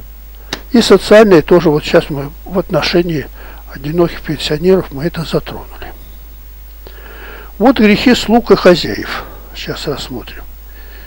Небрежение хозяйственного добра и вообще нерадение о пользе хозяев. Ну, у нас у, у нас все хозяева. Вот, если пенсионеров взять, то у пенсионеров, у особенно инвалидов, у нас все хозяева. Кто пришел, все хозяин. Участковый хозяин, а ЖКХ хозяин, он же управляющий компании. Дом-то на тебе приватизирован, а он тебя управляет твоим домом. Он выше тебя поставлен, выше собственника. Этот и ничего с ним сделать нельзя. Он тебе единую квитанцию дал, и все, и, и плати, и за капремонт плати. Ну вот э, как бы вот пренеб... мы пренебрегать. А кто платит всех добросовестней-то? Пенсионеры платят всех добросовестней. А не миллионеры, а пенсионеры. Это миллионеры не платят, потому что у них сотни квартир на них числятся. Десятки тысяч. Вон они дома стоят, никто не... оплатить-то за них никто не платит. Вот, а почему не, не платят? Потому что они не заселенные. А почему не заселенные? Потому что они никому не нужны. Жилье построено где? Где нет работы. А жилье есть. Для кого оно построено? Для переселенцев, если, допустим, остров затопит ваш любимый, где вы на карете катаетесь э, с мадам. А, и, как Грицацуевой, ездите кататься на этом острове пингвинов-то. Для этих вы жилье-то построили или для, или для кого? Вот, вот таким образом. Здесь небрежение хозяйственного добра, вообще не родение пользы хозяев. Ну, у нас все хозяева, у нас кругом они миллиардеры. Один 100, миллиард, 100 миллиардеров – владеет 70% денег и имущества всей России. И все в офшорах загоняет. А мы не должны пренебрегать пользой вот этого хозяев. Это правильно вообще-то. Умно написано. Положительные и намеренные убытки хозяев. Ну, это, конечно, нельзя делать. Ну, как вот хозяин там что-то построил, а мы взяли, пришли, подожгли со злости взяли и подожгли. Но это, это грех уже. Это уголовное преступление. Он леса, миллион гектаров сожгли, ну, в отместку этому айфончику. Неверность в служении по обязательствам и обязательным отношениям. Ну, это вот о, заключил договор, допустим, строй какой-то там, построить космодром. А он на этом дело нагрел деньги. Или вот о, Олимпиаду эту нагрели, как бюджет-то? Хорошо, нагрели бюджет. Или стадион в Ленинграде вот строят стадион, сколько миллиардов туда вложили. И еще хочет Мутко. У него рот-то он не закрывается никогда у этого Мутка. Там же бизнес большой, отмывка-то большая идет. Вот. А, так э, это грех у них, у мутков. То есть он хозяином своим служит не обязательно. И не, не верен. Также вот неверные эти служаки, когда президент дает им майские указы, они не выполняют айфончик, он положил на это со своей Тимаковой-то. Они положили там на это свои органы, на, на майские указы-то и все, и не выполняет. Это грех. Перенос тайн хозяйского дома и искусственное произведение раздора в хозяйском доме. Ну, это любое, как говорится, раскрытие э, гостайны, или вот взять Сноуден-то. Сноуден, он тайны хозяйские раскрыл и передал это все вот Кремлю через Китай. Засланцем таким служит. Вот это, это грех со стороны, хоть мы его и хвалим, но а в душе мы говорим, ну и сволочь же ты, козел, Сноуден. Ты же предатель. Предал интересы хозяев своих, которые тебе зарплату платили. Вот это грех. Злоупотреби доверием Господ подобно слуге пророка Елисея. Вот, оказывается, у, у Елисея был такой слуга, Гиезий. Он злоупотреблял давлением пророка Елисея. И этот слуга, взяточник, часто наследующий э, и чужие проказы, то есть пороки того человека, о котором просил своего господина.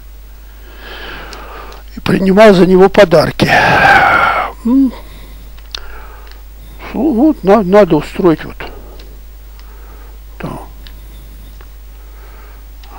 Петр Петрович или там Вадим Вадимович, надо устроить такого человека в министры, продвинуть. Вот хороший человек, это вот мы это все. А он нам дал взятку хорошую. Вот. Или вот э, мы говорим, там пришел Улюкаев и давайте приватизируем это. Все. А мы за это получили, Улюкаев получил за это 2 миллиона. За то, что он уговорил президента вот это дело протолкнуть. Он был против, ну, а когда ему дали 2 миллиона, он стал уже за. Вот это вот этот случай как раз. Он злоупотребил доверием. Вышел из доверия, его сразу сняли. И сейчас он последствиям этот Люлюкаев, который под дно-то искал, которого мы в прошлых лекциях, еще когда он был на высоте, мы его уже назвали подонком. Помните? Было где-то в лекциях. Мы его уже называли подонком. Так он и оказался. По своей психоматрице, кстати, вот этой Пифагоровой. Научение хозяйских детей худому или же злонамеренное смолчание перед родителями о худом в них. Ну вот э, хозяйских детей мы растляем там и э, против родителей их настраиваем, учим тайным делам и так далее и тому подобное. И это уже грех большой. Греки слуг к своему кругу или в отношении друг к другу. Ну, слуги, допустим, бывают тоже по ранжирам. Одни приближенные к комнатам господством, как, допустим, вхожие в этот круг, ближний там, кооператив озера. А бывают слуги там пониже, там, министры какие-то вшивые, там эти, госкомитеты, всякая вшивота. И вот это вот крупные-то, они научают этих мелких, научают вот, давайте так своруем, так своруем. И смотришь, уже у всех комнаты денег.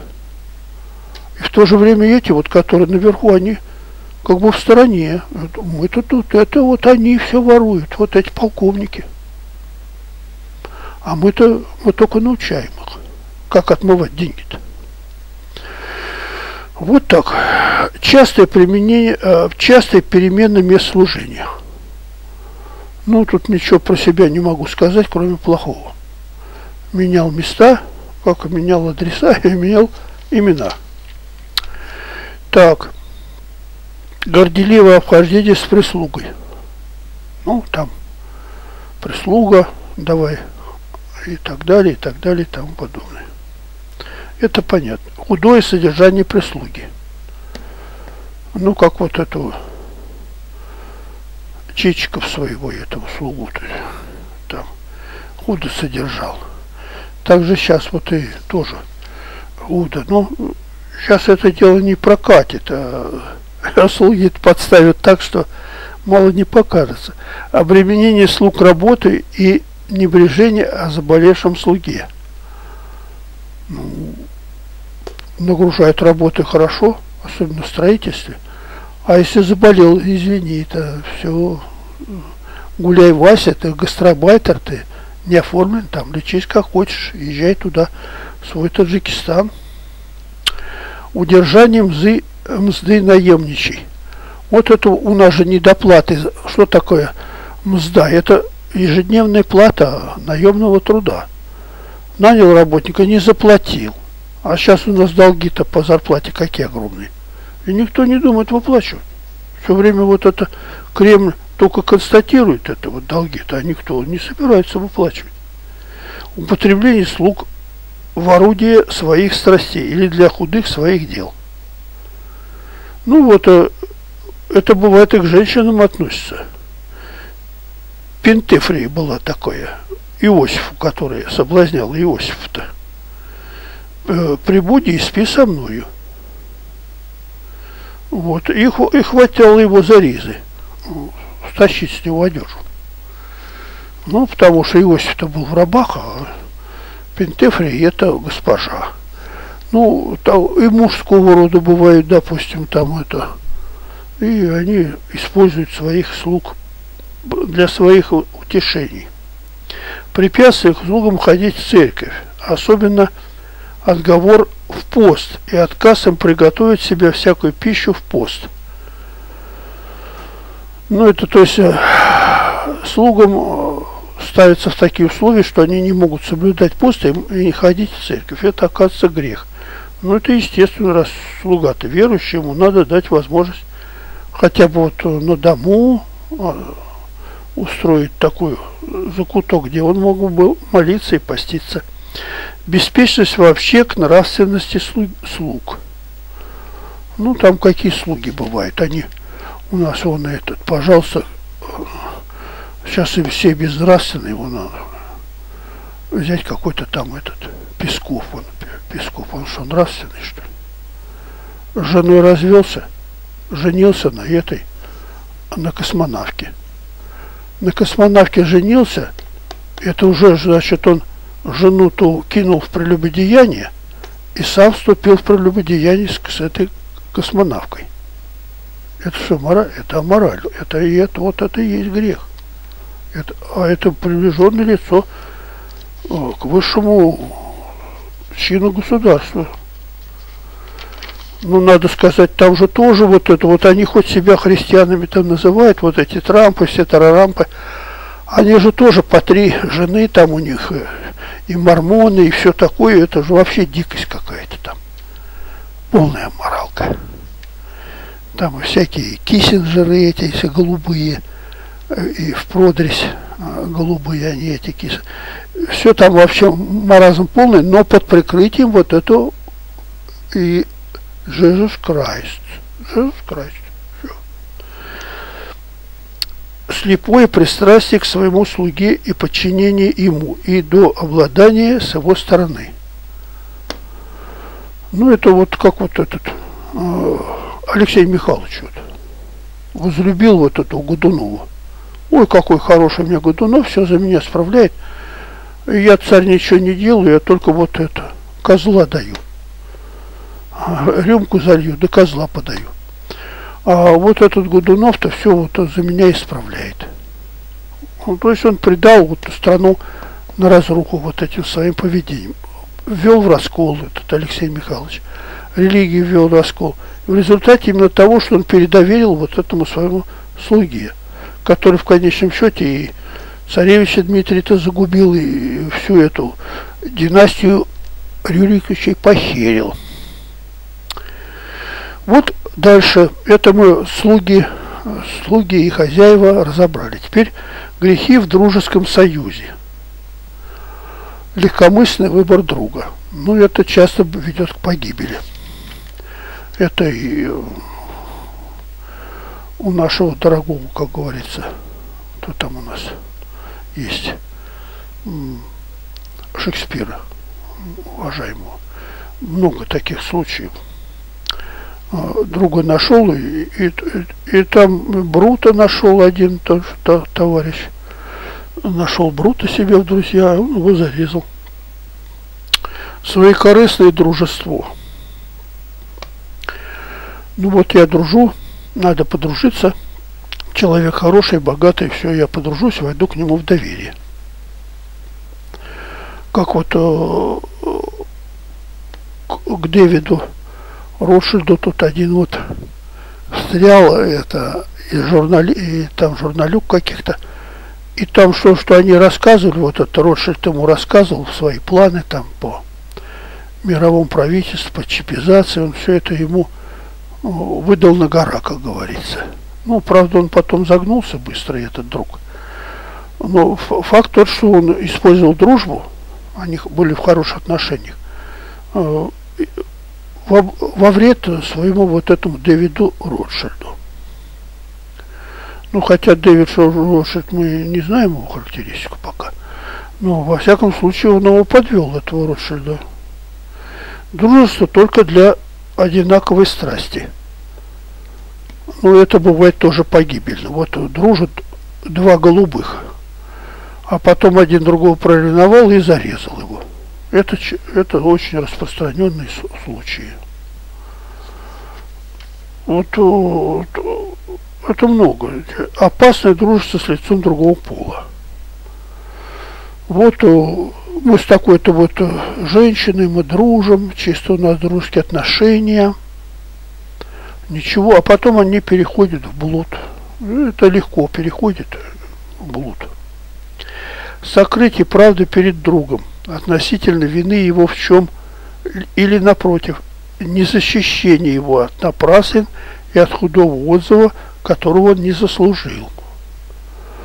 Ну, вот, э, допустим, обличают кого-то, а, а мы его не защищаем. А, под удар ставят товарища, а мы его не защищаем. Наоборот, э, еще присоединяемся к, к обличающим потому что, не дай бог, еще и на, нам перепадет. Измена другу. Ну, это мы говорили там, брут и так далее, и так далее. И ты брут. Оставление старого или отцовского друга. Ну, вот старые друзья, один друг там заболел, его бросил на попечение. Бог с тобой там, э, выбирайся спасение утопающих, как говорит, это дело рук самих утопающих. Здесь выскакивает такое дело. Недружелюбие. Это вообще нет друзей, вот недружелюбие, это значит э, вообще очень тяжелый человек на, на общение. Вот я, например, очень тяжелый на общение. Пристрастие к сверстникам, товарищам или, напротив, пренебрежение ими – ну, некоторые прямо компании бывают э, верны, да грубо, как говорится, а, а некоторые, наоборот, пренебрегают своей компании э, своими однокашниками, э, товарищами по учебе. А, и вот сейчас мы рассмотрим э, жизнь гражданская и общественная. Это что касается политической части вот этой пятого, пятого закона оспаривание верховной власти. Первый царем на земле был Адам, ровно как и дети его были первыми природными подданными его. Ну вот мы верховной властью все, все время, вот я, например, все время критикую эту верховную власть. А это грех. Это большой грех. Ведь она власть обо мне заботится. Я же показал, как она же. Мне капитальный ремонт устраивает, счетчики устанавливает. ЖКХ следит, чтобы у меня было все окей в ЖКХ. Дорогу мне расчищает а верховная власть. Она обо мне полностью забота. И хлебушек испекает э, качественный, товары продает э, дешевые. Ну, это что же они грешить об этой власти? Надо только ее хвалить, вот рейтинг повышать до 90%, как пес Гов сказал. Поносное слово или только хульные мысли на царя. Вот мы, Николашка там, вот плохой там вообще, с этой распут... Кино сейчас выпустили, то он с балериной путается, вместе с своим братом они там эту балерину а прихаживают и так далее, и так далее, и уже не знают, куда ее девать, и как ее поставить, каким родом, в какую позу. Вот это мы осуждаем. А это вот, вот Распутин, там царь связался с Распутиным, а это вот, мы даже, даже хульная мысль на царя не должна быть. Или у нас сейчас вот тоже, как цари, вот они же несменяемые, а, голосование там уже тоже аж подтасовка кругом. И фактически царь, он независимо от голосования, один и тот же. Как бы голосование не прошло. За Зюганова ли там проголосовали, за Явлинского или за этого, а все равно царь-то один, он, и вот против него мыслить даже нельзя мыслить. Вот, а, а я, например, иногда грешу, ну, с подачи телевидения, с подачи средств массовой информации – которые публикуют а, вот эти хульные отзывы. Что вот у нас вот это вот, там э, Навальный меня все время смущает. Вот партия жуликов и воров, там жулики и воры, коррупция, кооператив озера. Ну, по неволе закрадывается мысль, а что там такое? А я не должен так мыслить, потому что обо мне кругом забота, я чувствую. Ну вот я же в тепле, где-то я будто еще вот, и, и не сдох с голоду. Ну, слава тебе, Господи. Не искоренение отношений к радости и печали царя. Неискреннее отношение к радости и печали царя. Всего дома его. А отсюда неискренняя молитва о нем. А мы это... Вот Жириновский же предлагал нам «Боже, царя храни». А, вести вместо гимна-то «Боже, царя храни» гимн-то у нас вообще плохо написан, слова-то. Жириновский, правильно, и он за мной повторяет, потому что я это, об этом раньше говорил. Как это? Славься Отечество, наше славь само себя Отечество, это возвратный глагол, он неприменим вообще в гимне. Это не русский человек писал эти слова. Поэтому вот э, слова должны быть в гимне прозрачные и ясные, и не противоречить грамматике русского языка, главное возвратный глагол не должен здесь употребляться а, славься. Частица ся это признак возвратного глагола. Вот таким образом.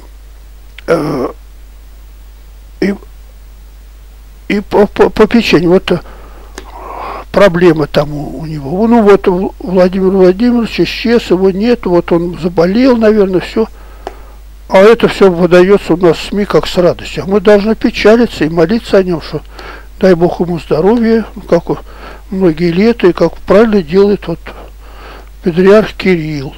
Патриарх Кирилл, он а, молится хорошо. Вот. И надо с этого брать пример. Не сохранение тайны царевой или служебной. Ну, здесь явно уже Сноуден напоминает. А, а наши вот эти вот тоже а, ну, которые лубянские-то. Поляков там этот, кто там, Пеньковский, Поляковский, еще кто там. А, вот это же там, которого отравили полонием, тоже тоже а, из, э, тайны выдавал государственные. И многие другие там разные там а, ну, изменников-то много. Ну и Сноуден тоже туда же относится. Неуважение государыни. Ну, у нас, слава богу, государыни сейчас нету. И мы не можем, это грех нам не вменяется. Тем более у нас одно уважение к ней сплошное было, как, как матери героини, двух дочерей воспитала. А, при отсутствии мужа фактически. Непочтение к наследнику престола и к всему царствующему дому. Ну, у нас вместо царствующего дома сейчас кооператив озера вот это идет. И, и вот эта вся группировка, которая связана со спекулятивными вот этими большими деньгами и офшорами. А, это, это приватизацией нашей всей страны и переводом собственности за границу. Вот это, вот это, сейчас он заменяет у нас царствующий дом. Ну, хотят многие, вот, вот хотят поставить царем, вот именно. И Жириновский тоже. А, ну, что за президент такой? Да? Царь, царь должен называться царь. Все. И, и тогда вот у нас бы был этот грех. А сейчас у нас греха нет, поскольку царствующего дома нету и наследника престола нету. Вот. Злонамеренное оскорбление памяти умерших царей. Ну, это вот мы сейчас, какой Иван Грозный был, грязный, он новгородцев загубил, там пожег весь Новгород, уничтожал там, а, внел, ввел опричнину, где эти пьяные опричники с собачьими головами носились по России, а, воровали, грабили, убивали там, на дыбу вешали, рубили подряд все это, все высекли, все, ну, всю Россию посекли. И э, все знаменитые рода поуничтожали, которые в России основу государственности были. Там э, они все эти рода, все Иван Грязный этот, ну он Грозный назывался, но то Грозный и Грязный это рядом, потому что когда Грозный, то уже и Грязный. Потому что когда он лес рубит, то у него щепки летят. Как э, сказал незабвенный наш тоже один хороший человек – и вот э, э, поэтому вот это оскорбление памяти. Вот, а мы вот сейчас ему памятник поставили. Так что все нормально. Мы восстановили это все и уважаем теперь этого, этого грозного царя. И он у нас служит образцом.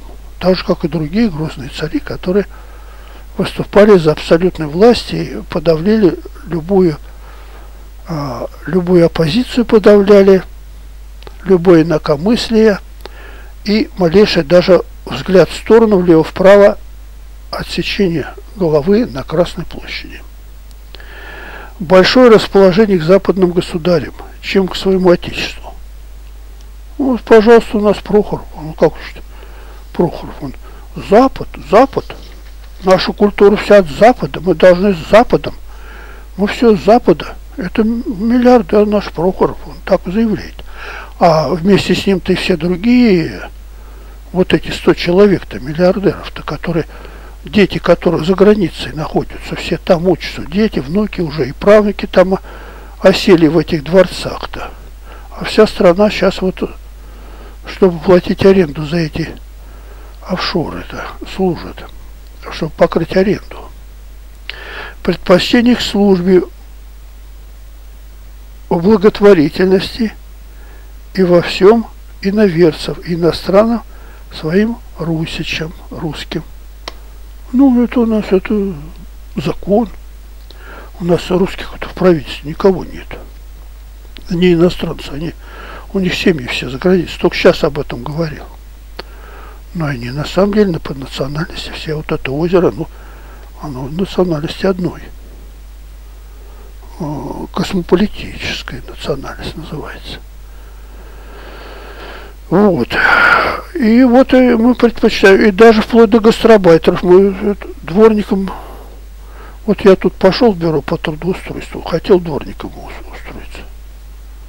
Да меня там э, обложили, послали, говорит, пошел ты, дед.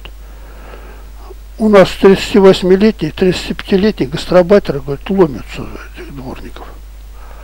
И все дворниками оформлены, а снег не убран. Значит, что получается, они часть зарплаты отдают, а на работу не выходят. Они свою зарплату.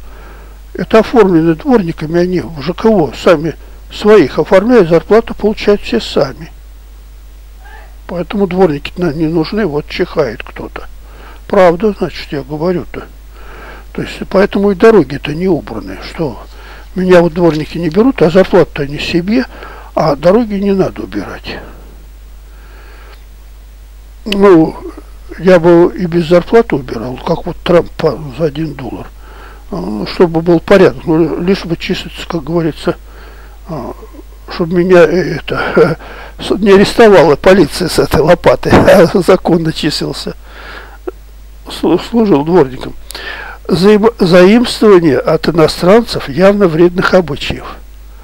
Вот это железный рог, Кока-Пола, Пепси-Пола, Пепси-Кола, Кока-Кола, потом эти чипсы, и это вся, это, ой, чем мы только так не позаимствовали от них, это самого вредного. И вот, это синтетика, баллония. У нас кругом электричество только вот от, от этой баллонии-то и синтетики. Раньше мы хотели что, хлопок, лен, ну лен и конопля, из конопли тоже делали ткани. Хорошая ткань от из конопли. Лен и конопля, и не надо хлопка. А сейчас у нас многие синтетики. Это за границей. Вот мы взяли. Вредный обычай. С Болонии началось. Ну, за что там вот трясет эту Болонию сейчас? За дело, наверное. Бегство из, из Отечества или только без нужды проживания за границей. Но ну, у нас какая там нужда? Нужда. У нас там нужду придумаем. Первая нужда это у нас же там банки. Вклады-то у нас лежат в швейцарском банке. Значит, мы без нужды не проживаем, значит, мы там не грешим за границей. И потом у нас там нужда, детишки учатся. А внучки уже там подросли, все, мы уже там э, трудзавались в этой за границей-то. Не оказание помощи своеземцу в чужой стране. Ну, там у нас какой-то бут в тюрьме сидит пожизненно, и мы на него положили, на этого бута. И, и ничего не хотим. Там что-то шевелимся, делаем вид, что никого не освобождаем. И там повязывают э, подряд-подряд, и мы ни, ничего никого не освобождаем. Все там э, сидят. Мирно, пожизненно сидят. Ну и естественно, даже и посла-то никакой помощи защиты нет. Посла-то убили. Это же тоже гражданин. Под охраной там должен находиться. Ну, был без охраны оставлен пристрастные выборы в должности и склонение к тому же других. Ну, наша выборная кампания, это же сплошная чудотворец. А сейчас чудотворка, она еще круче, она переплюнула этого. А был кто? Чуров-то, чудотворец-то. А это чудотворка, еще там одним и тише, что, что творит. Ну, это, в общем, кошмар. Я про это не буду. Здесь в интернете все, все даже показано, как в броусе бюллетене все осуществляется. Все это показано хорошо, что сейчас камеры маленькие, можно везде установить. И независимо даже от этих структур всех, независимо можно снять. Злоупотребление своим влиянием властью в общественных собраниях и на мирских сходах. То есть мы своим авторитетом давим и вот отговариваемся, на ответ на вопрос не отвечаем, а, а начинаем длинно рассуждать э, вокруг да около. Вот это да, да, да, да, да, да, да, и в конечном счете округло так все это заворачиваем и ноль на выходе. Так вот у нас все пресс-конференции происходят. Заранее подготовленные вопросы и заранее подготовленный вы, выворот от этих, загогулин от этих вопросов как говорил один преснопамятный загогульщик. Злоупотребление доверием общества по должности гласного или члена комитета или учреждения какого. Но это у нас все депутаты этим страдают. Вот он, вот пример Жириновский. Он этот подлец. А почему я говорю подлец? Потому что он говорит все правильно. Это ж вот так подлецы называются. Они все правильно говорят, исключительно. Но когда голосование наступает, он всех своих избирателей подводит, и голосует он совершенно противоположно своим словам. Вот это вот образец, вот это вот нечестного члена комитета учреждения какого. А говорит он, ну, как, как опера. как опера говорит. Ну, это подлецы. Недобросовестно и неусердное исполнение обязанностей службы. Вот это недобросовестно у нас любой министр возьми. С Табуреткина, начиная, министр обороны, Табуреткин был. И это, и до последнего вот этого Улюкаева, Силуанова там и прочих, и это все не, недобросовестные люди. И Голодец это, и вот это вот, даже медработница, кто там она у нас, Воробьев, а, Воробьева, что ли, я не помню уж фамилия, она договорилась до того, что у нас а, потребление спиртного упало до 10 литров чистого алкоголя в год. А надо до 8 избавить. Ну, и, значит, у нас нация это здоровеет, она говорит, что, значит, мое, а, я провела какую-то работу. Но она не сказала, что самогон, самогонку-то стали гнать, а? Чего ж ты медлишь-то? Когда вся эта водка, она, оказывается, вся самогонкой оказывается. И уже пьют еще гораздо больше, чем раньше пили. Но надо же показать ей свою работу, что она вроде как бы исполняет обязанности хорошо подлюга тоже. Уклонение от бескорыстного служения Отечеству в должностях по выборам, равно как и повинности общественных. Бескорыстно мы должны служить, вот как Трамп, за один доллар, символический, вот только чтобы числиться на работе. Один доллар, все, и дальше общественную работу я выполняю, хожу голосовать, как положено, для интересов общества но не для интересов вот узкого вот прослойки вот этих олигархов, приватизаторов. Равнодушие к общественности, а у нас же, как они же депутаты все время повышают себе зарплату, как же нам же мало, ну же мало, что же какой-то Трамп там это. Уже начали его это поливать, этого Трампа. Как же там без зарплаты работает? Равнодушие к общественным нуждам и бедствиям. Ну, там леса горят, да и хрен бы с ним там. Все, торф горит, леса. И это у нас не обращает внимания. Или, допустим, там это, школы захватывают, там взрываются дома, тут или самолеты гибнут, у нас ник никто не обращает внимания. Э, никаких мер не принимается. Уклончивость от того, чтобы законным путем остановить очевидны и, и вреднейшие злоупотребления в делах своего общества. Вот, видите как? Уклонение. А вот кто не уклонялся, того просто убили там вот этот прокурора какого-то убили там этих э, генералов армии там ну, убивали это, кучу, да, и этого Немцова тоже он что-то хотел, там корячился и на мосту прям застрелили его. Да и все. Ну вот, э, Навальный еще пока держится, но его тоже хотели убрать. Он, он сразу сделал какое-то правонарушение и попал и заслужил взятым быть в милиции суток на 15, чтобы его не отстрелили. Чувствовал, что, значит, кого-то должны были застрелить, или его, или Немцова. Но он отсидел 15 суток, за это время убили Немцова, и вроде схлынул, схлынуло нерасположение к собственному званию. Ну, вот призвал человек. Вот в чем призван, в том да и пребывает человек. Вот призван и служи в этом звании. А у нас вот недовольны бывают люди-то. Это грех. Сословная ненависть и возбуждение ее в других. Ну, сословно это раньше называлось, в 1905 году – а сейчас это называется классовая ненависть. Классовая ненависть от трудящегося к олигарху, паразиту, к спекулянту. Обязанности к начальникам. Повиновение начальству только из страха, а не по совести. А надо как для себя. Вот работа, как будто начальник это родственник. А, отец, мать и так далее ропот и поносные слова на начальника. Вот начальник такой, даже в кухне в своей нельзя этого говорить. Это уже грех. Отрицание со всех властей – это анархия. Пока еще рано этим заниматься. Это фреска э, фантазирует. Вот фреска есть такой, сто лет ему. Он живой еще. Вот он полностью начальство отрицает и передает начальство дела начальства компьютеру большому. Снискание благоволению начальника под обострастием к нему.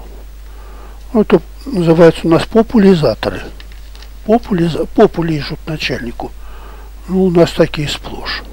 Они выступают, это вот они и полковники, там баронцы, и воронцы. Все они только на всех пресс-конференциях вот просто буквально грубым шершавым языком лежит жо, пятую точку нашему дорогому. Это у нас сплошняком. И также вот э, рейтинги вот эти, тоже популяризаторство. Вот уже это, это до 90% говорит рейтинг. Вот Пескова-то вывел. 90% обязанности самих начальников. Вот что начальники должны, как они должны. -то. Ни, преду, ни предусмотрение нужд и ни предотвращение всего опасного для веренных начальственному попечению. Но об этом мы говорили, не соблюдение техники безопасности, короче говоря. Во, во всех случаях. Не соблюдение техники безопасности. В результате чего страдают люди слабость и бездействие в управлении, или же напротив уже жестокость и притязательность. Ну, слабость и бездействие, вот сейчас вот премьер-министр вот Медведев, вот, он бездеятельный полностью. Он полностью, ну, как говорится, просто роль играет, вот сидит, место занимает. А никакого влияния нет, но экономика не растет. Но это значит, человек не работает. Не на своем месте. Раз экономика не растет, что, кто же должен работать? Вот. А с другой стороны, вот были такие, что чрезмерно там это, как говорится, там чуть лево, чуть вправо и расстрел, как при Сталине, там Кузнецов, а мы на него сфабрикуем дело, он нам не угоден – и под расстрел этого Кузнецова, секретаря Ленинградского обкома, как и многих других. И при, при Брежневу, Брежнев же сидел плохо, Машеров, Машеров выдвигался, и там Романов, надо их опустить. Про Романова кинули сплетню с Лубянского угла, а, что он, значит, на царских э, тарелках э, свадьбу справлял и с царских рюмок пил со своей дочкой. А Баширова просто задавили все на машине. Ну, как катастрофа. Автомобильная катастрофа. Баширов был, ну, также и был э, тоже, по-моему, Щербицкий, тоже кто-то там с Украины был. Ну, тоже что-то с ним плохо произошло. Внушение подчиненным покорности закону и порядку одним только гневом криком. Ну, это такое вот командно-волонтаристское. А, нарать, ногами затопать и все. Начальственная недоступность. Сейчас попади к начальнику какому. Он в исполком-то зайдешь, вот городишко небольшой. Зайдешь туда вот в эту, в мэрию, заходишь к секретарю, этот мэр на месте, на месте, а можно к нему? Нет, нельзя. А почему? Надо записаться за неделю на прием. Давайте паспорт, давайте это. Все, вот мы вас запишем, скажем очередь, и все. Все, вопрос отпадает уже. Все. Этот человек недоступен уже. А дальше он скажет, что его нету, перезапишите на следующую неделю и так далее, и так далее. А вот, пожалуйста, у нас сейчас интернет. Ой, оказался интернет, там написал, запостил туда эту, хоть президенту запостил, и что ты получил? Ноль. Полный ноль, ничего. А ответы, как будто ты вот инопланетянам там послал сигнал туда. И обратно как-то туда, туда, говорит, дуй, обратно Google. Гу, гуй. Google Гуй. А туда дуй. попрание своей властью одинаковой или же низшей власти других лиц. Ну вот, э, я, допустим, это, мне не угоден вот этот вот подлец прокурор, значит, я должен его это попрать. Как? Компромат на него найти, вот эту сладкую малинку ему подбросить, девочку, и там зафотографирую его с девочкой, или там как вот этого нашего а, вот недавно кандидата-то вот этого. А, как она? Партии-то партии опустили. Миша 2%. Тоже же его с девочкой зафотографировали. И все, значит, это попрали его власть. Все полностью. Занулили его человека. Также там прокурор был какой-то прокурор. Э, генеральный прокурор-то, между прочим. Ну, так уже опустили. Не оказание начальственного покровительства православной церкви. Ну, это у нас сейчас избытком. Вот, все мы начальственное покровительство, тут и бюджет подключается, все. Церкви строятся, как грибы золотятся, все тут окей идет. Здесь нет греха у нас. Стеснение подчиненных в исполнении христианских обязанностей. Ну, это я начальник вот на, на литургии не, опускаю, не отпускаю своих подчиненных. Это, ж, это грех, конечно. Э, при управлении другими не старание управлять самим собой. То есть э, я вот с друг, другими-то людьми управляю, а сам-то собой не управляю. А сам я, как вот Ельцин, жру эту водяру, там, вино, винище. Жру и пляшу. Вот, и сам собой не управляю. Неадекватный становлюсь. Надо мной уже все смеются, а я все а другими я управляю, даже расстреливаю Верховный Совет. Вот это явный пример. Неподавание доброго примера и даже соблазнительных примеров, пример, соблазнительные примеры лицам, зависимым и подчиненным. Ну, это все мы так делаем. С женами разводимся, новых жен берем или не берем вообще, а там занимаемся не знаю чем. А во всяком случае, э, ну, со средствами с государственными обращаемся очень просто. Мы их переводим за границу миллиардами и так далее. Там накапливаем на счетах и поручаем непонятным людям, каким-то Ралдугиным, там этим, на этих, как дровяных инструментах и на дрова расходуем вот эти, смычковые дрова-то вот эти. Огромные миллиарды у него там лежат у этого Ралдугина. Вот это мы все это делаем. Это все грех. Невнимание по службе к людям беззащитным и много семейным. Ну, у нас этого нет. У нас сейчас, пожалуйста, а, там сколько там рублей-то? Рублей 14 после года-то а, за ребенка-то дается-то, чтобы ребенка-то поддержать. Там 14 рублей, что ли, в месяц? Я не помню. Ну, около этого год там исполнится, а дальше до трех лет по 14 рублей в месяц. Ну, примерно. Это у нас попечение есть. Кроме того, ну, материнский капитал это, подвешен где-то там. Ну, до него добраться, что пока ни одна мать не добралась до этого капитала. А лишение достойных людей награды, повышение или прямое притеснение их по зависти. Зависть, да. Вот э, зависть это такое чувство, что а вдруг кто-то вот лучше появится. Нет, больше некого. У нас только вот один может. Вот все. Это внушить народу надо, что один, все один, едино начале. И вот кроме него больше в стране людей нету. Это только вот мы его вот подготовили, вот он у нас один артист. Страна одного артиста. Преступление в себе самом, чувство страха и стыдливости в преступлении и разбирательство чужих преступлений. Ну, это вроде как бы вот, э, пожалуйста, Табуреткин и, его мадам. Ну вот, э, как бы мы со страхом их судим, ну как, ну вот, ну приступили, ну бывает же еще хуже, там у нас же есть какие Чикатилы, вот недавно там 60 человек убил, арестовали как милиционера там полицейского, 60 человек убил, а тут, ну подумаешь, там он продал там это, и мы его не судим, домашний арест ему и все, мы боимся это судить, потому что кругом преступление еще же жестче. А потом как бы не осудить, да не судимы будете, нам приходят еще некоторые люди бородатые в рясах эти, как варвары, барбар, от слова борода, варвары в рясах. А оставление молитвы о добром управлении другими.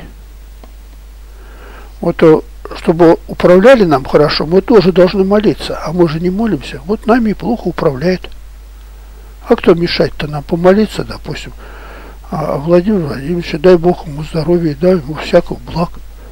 А, вот. Как опрос недавно вот э, «Эхо Москвы» провело. Очень хитрые, кстати говоря, вопросы задают они. Поразили меня просто своим умом. Это «Эхо Москвы».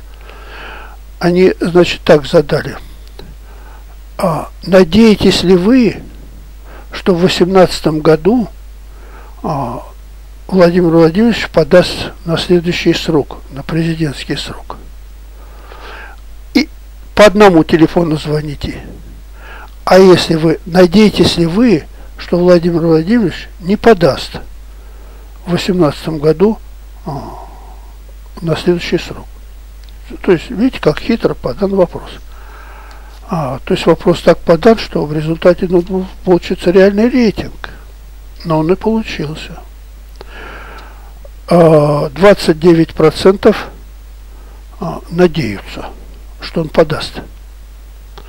А 71% надеются, что не подаст. Вот он реальный рейтинг. Это не какой-то там Песковский, Песковский рейтинг-то. Ну и, и дальше мы заканчиваем. Мы должны молиться все равно за них, а, чтобы они нами хорошо управляли. Тогда будет хорошо. Как вот за Трампа молились там, и он пришел к власти, сейчас будет хорошо управлять. Грехи воинов. Тоска по родине, бег со службы. Ну, там оно само собой, там дедовщина такая, что многих просто в цинковых гробах привозят, избитых всех, измордованных. Одному чуть не отбили все гениталии, вот сейчас инвалид, не знает, что-то жив, не жив. И таких много, ну, многих просто там поубивали. Дедовщина такая у нас. Ну, тоска по этому по родине, люди их стараются бежать. А другой вот в Армении там уже до того его довели, что он там всю семью армянскую расстрелял.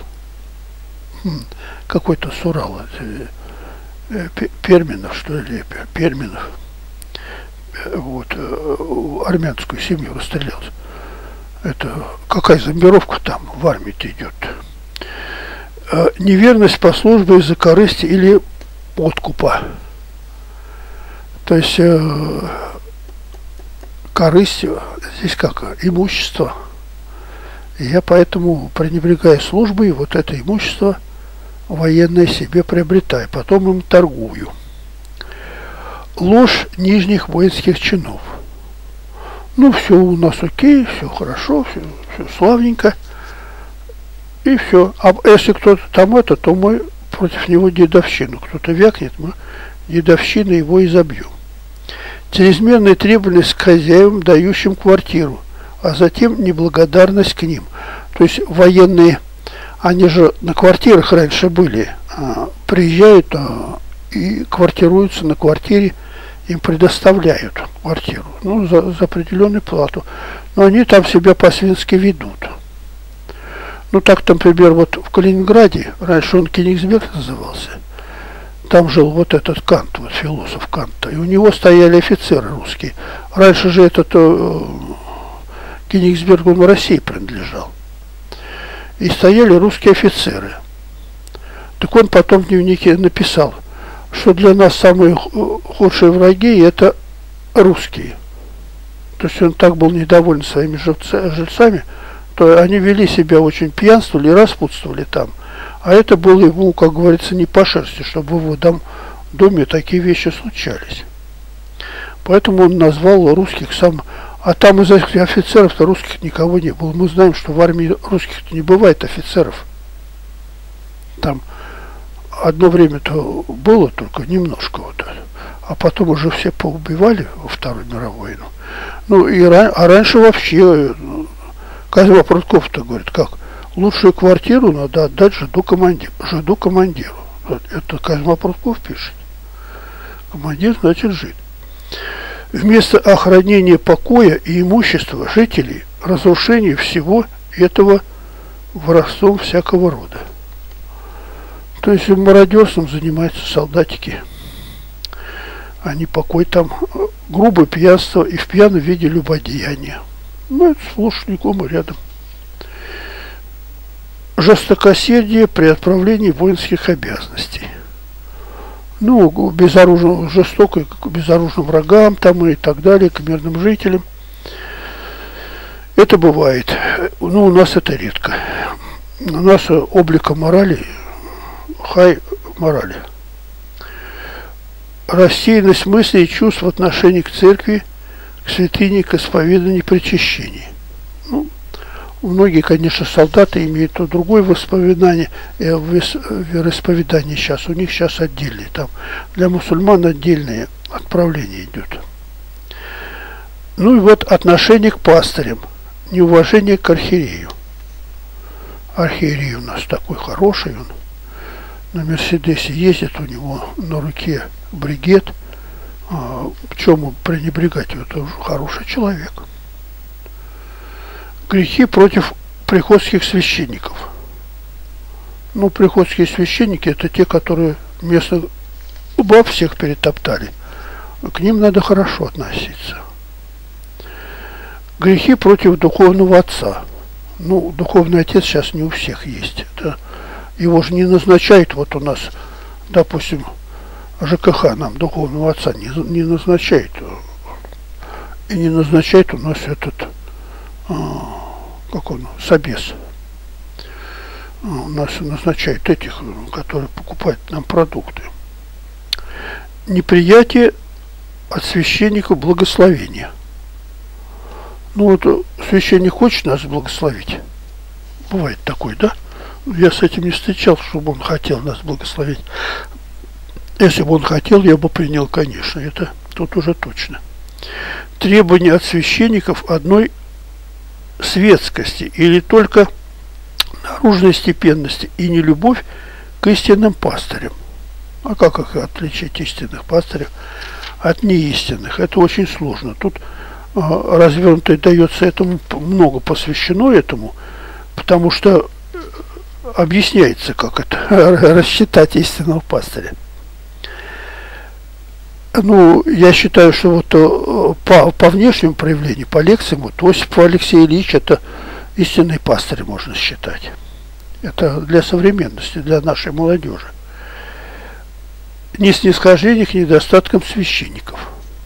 Ну, мол, подумал, что батюшка, ну, керосинит батюшка, там покуривает, матом ругается, ну, это же батя, он же нам такие грехи отпускает, мы ему должны простить. Ну, задавил там все, но он же э, всего два человека, а скольким он грехи отпустил? Вот, он, он же не освободил от судебной ответственности никого, он грехи отпустил только.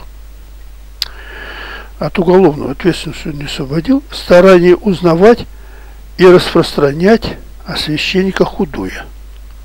Ну, это мой грех, я вот Тут ссылки давал, как вот священник там аварию, 9 автомобилей, что он там творил, что вот про Грозовского, что он там детей расслевал, это я все старался, собирал, и вот э, с помощью даже вот этого Александра Невзорова, который очень много таких фактов знает. Вот, и Герман Стерлигов тоже он э, относится определенно к этому. Отказ содержание священникам и сиротам их.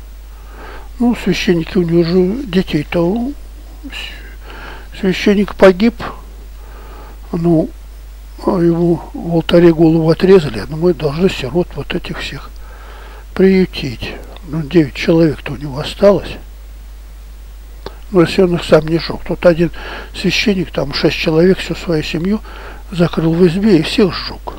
Ну, бывают и такие священники. Ну, мы не должны на это внимание обращать. Это не наше, как говорится, дело. Непостительность к монахам. Ну, монахов мы не видели еще ни разу. Они где-то прячутся от нас, эти монахи. За ними надо еще искать, следить. отслеживать. Вот. Обращение с, доверием к пастырям и на верном и пособие на иностранной, на иноверной церкви вместо своих. Ну, а сейчас экуменизм. Вот мы принимаем всех иностранных, предпочитаем их. Папе Римскому мы готовы уже. Все. Вот это вот наши грехи относительно пятой заповеди. Ну, не, не наши, а мои грехи относительно пятой заповеди. Это чти отца и мать свою. Ну, видите, тут широко автор, вот этот протерей Попов, он а, понимает широко отца и мать. Он а, к отцам и матери правильно причисляет, это крестных родителей причисляет. Он сродников, наставников всех, благодетелей – вот, и крестных родителей, и даже царя, а, царь, царицу, а, и все, и всех, всех, кто тебя окружает, все вот и ближние, все как мать-отец. Но если мы так, мы блаженны, если мы так будем все считать. И надо к этому стремиться, к этому блаженству. Вот я уже занял уже больше двух часов но все-таки мы закончили. Но мы закончили как? Мы то просто перечислили, а там же идет разъяснение. Поэтому я тут вот сошлюсь на эту книгу. Посмотрите, ведь это же очень полезно. Потому что если мы считаем себя безгрешными, то мы находимся в большой прелести. И здесь, э, если мы в чем-то согрешили, то мы в другом тоже. Оно, грех, он как цепочка друг для друга цепляется один за другим. Всего доброго вам, до новых встреч, до новых грехов. Еще нам осталось пять заповедей. Значит, пять мы прошли, и пять заповедей блаженства, а, не блаженства, а заповедей а, Моисея. Здоровья вам и успехов!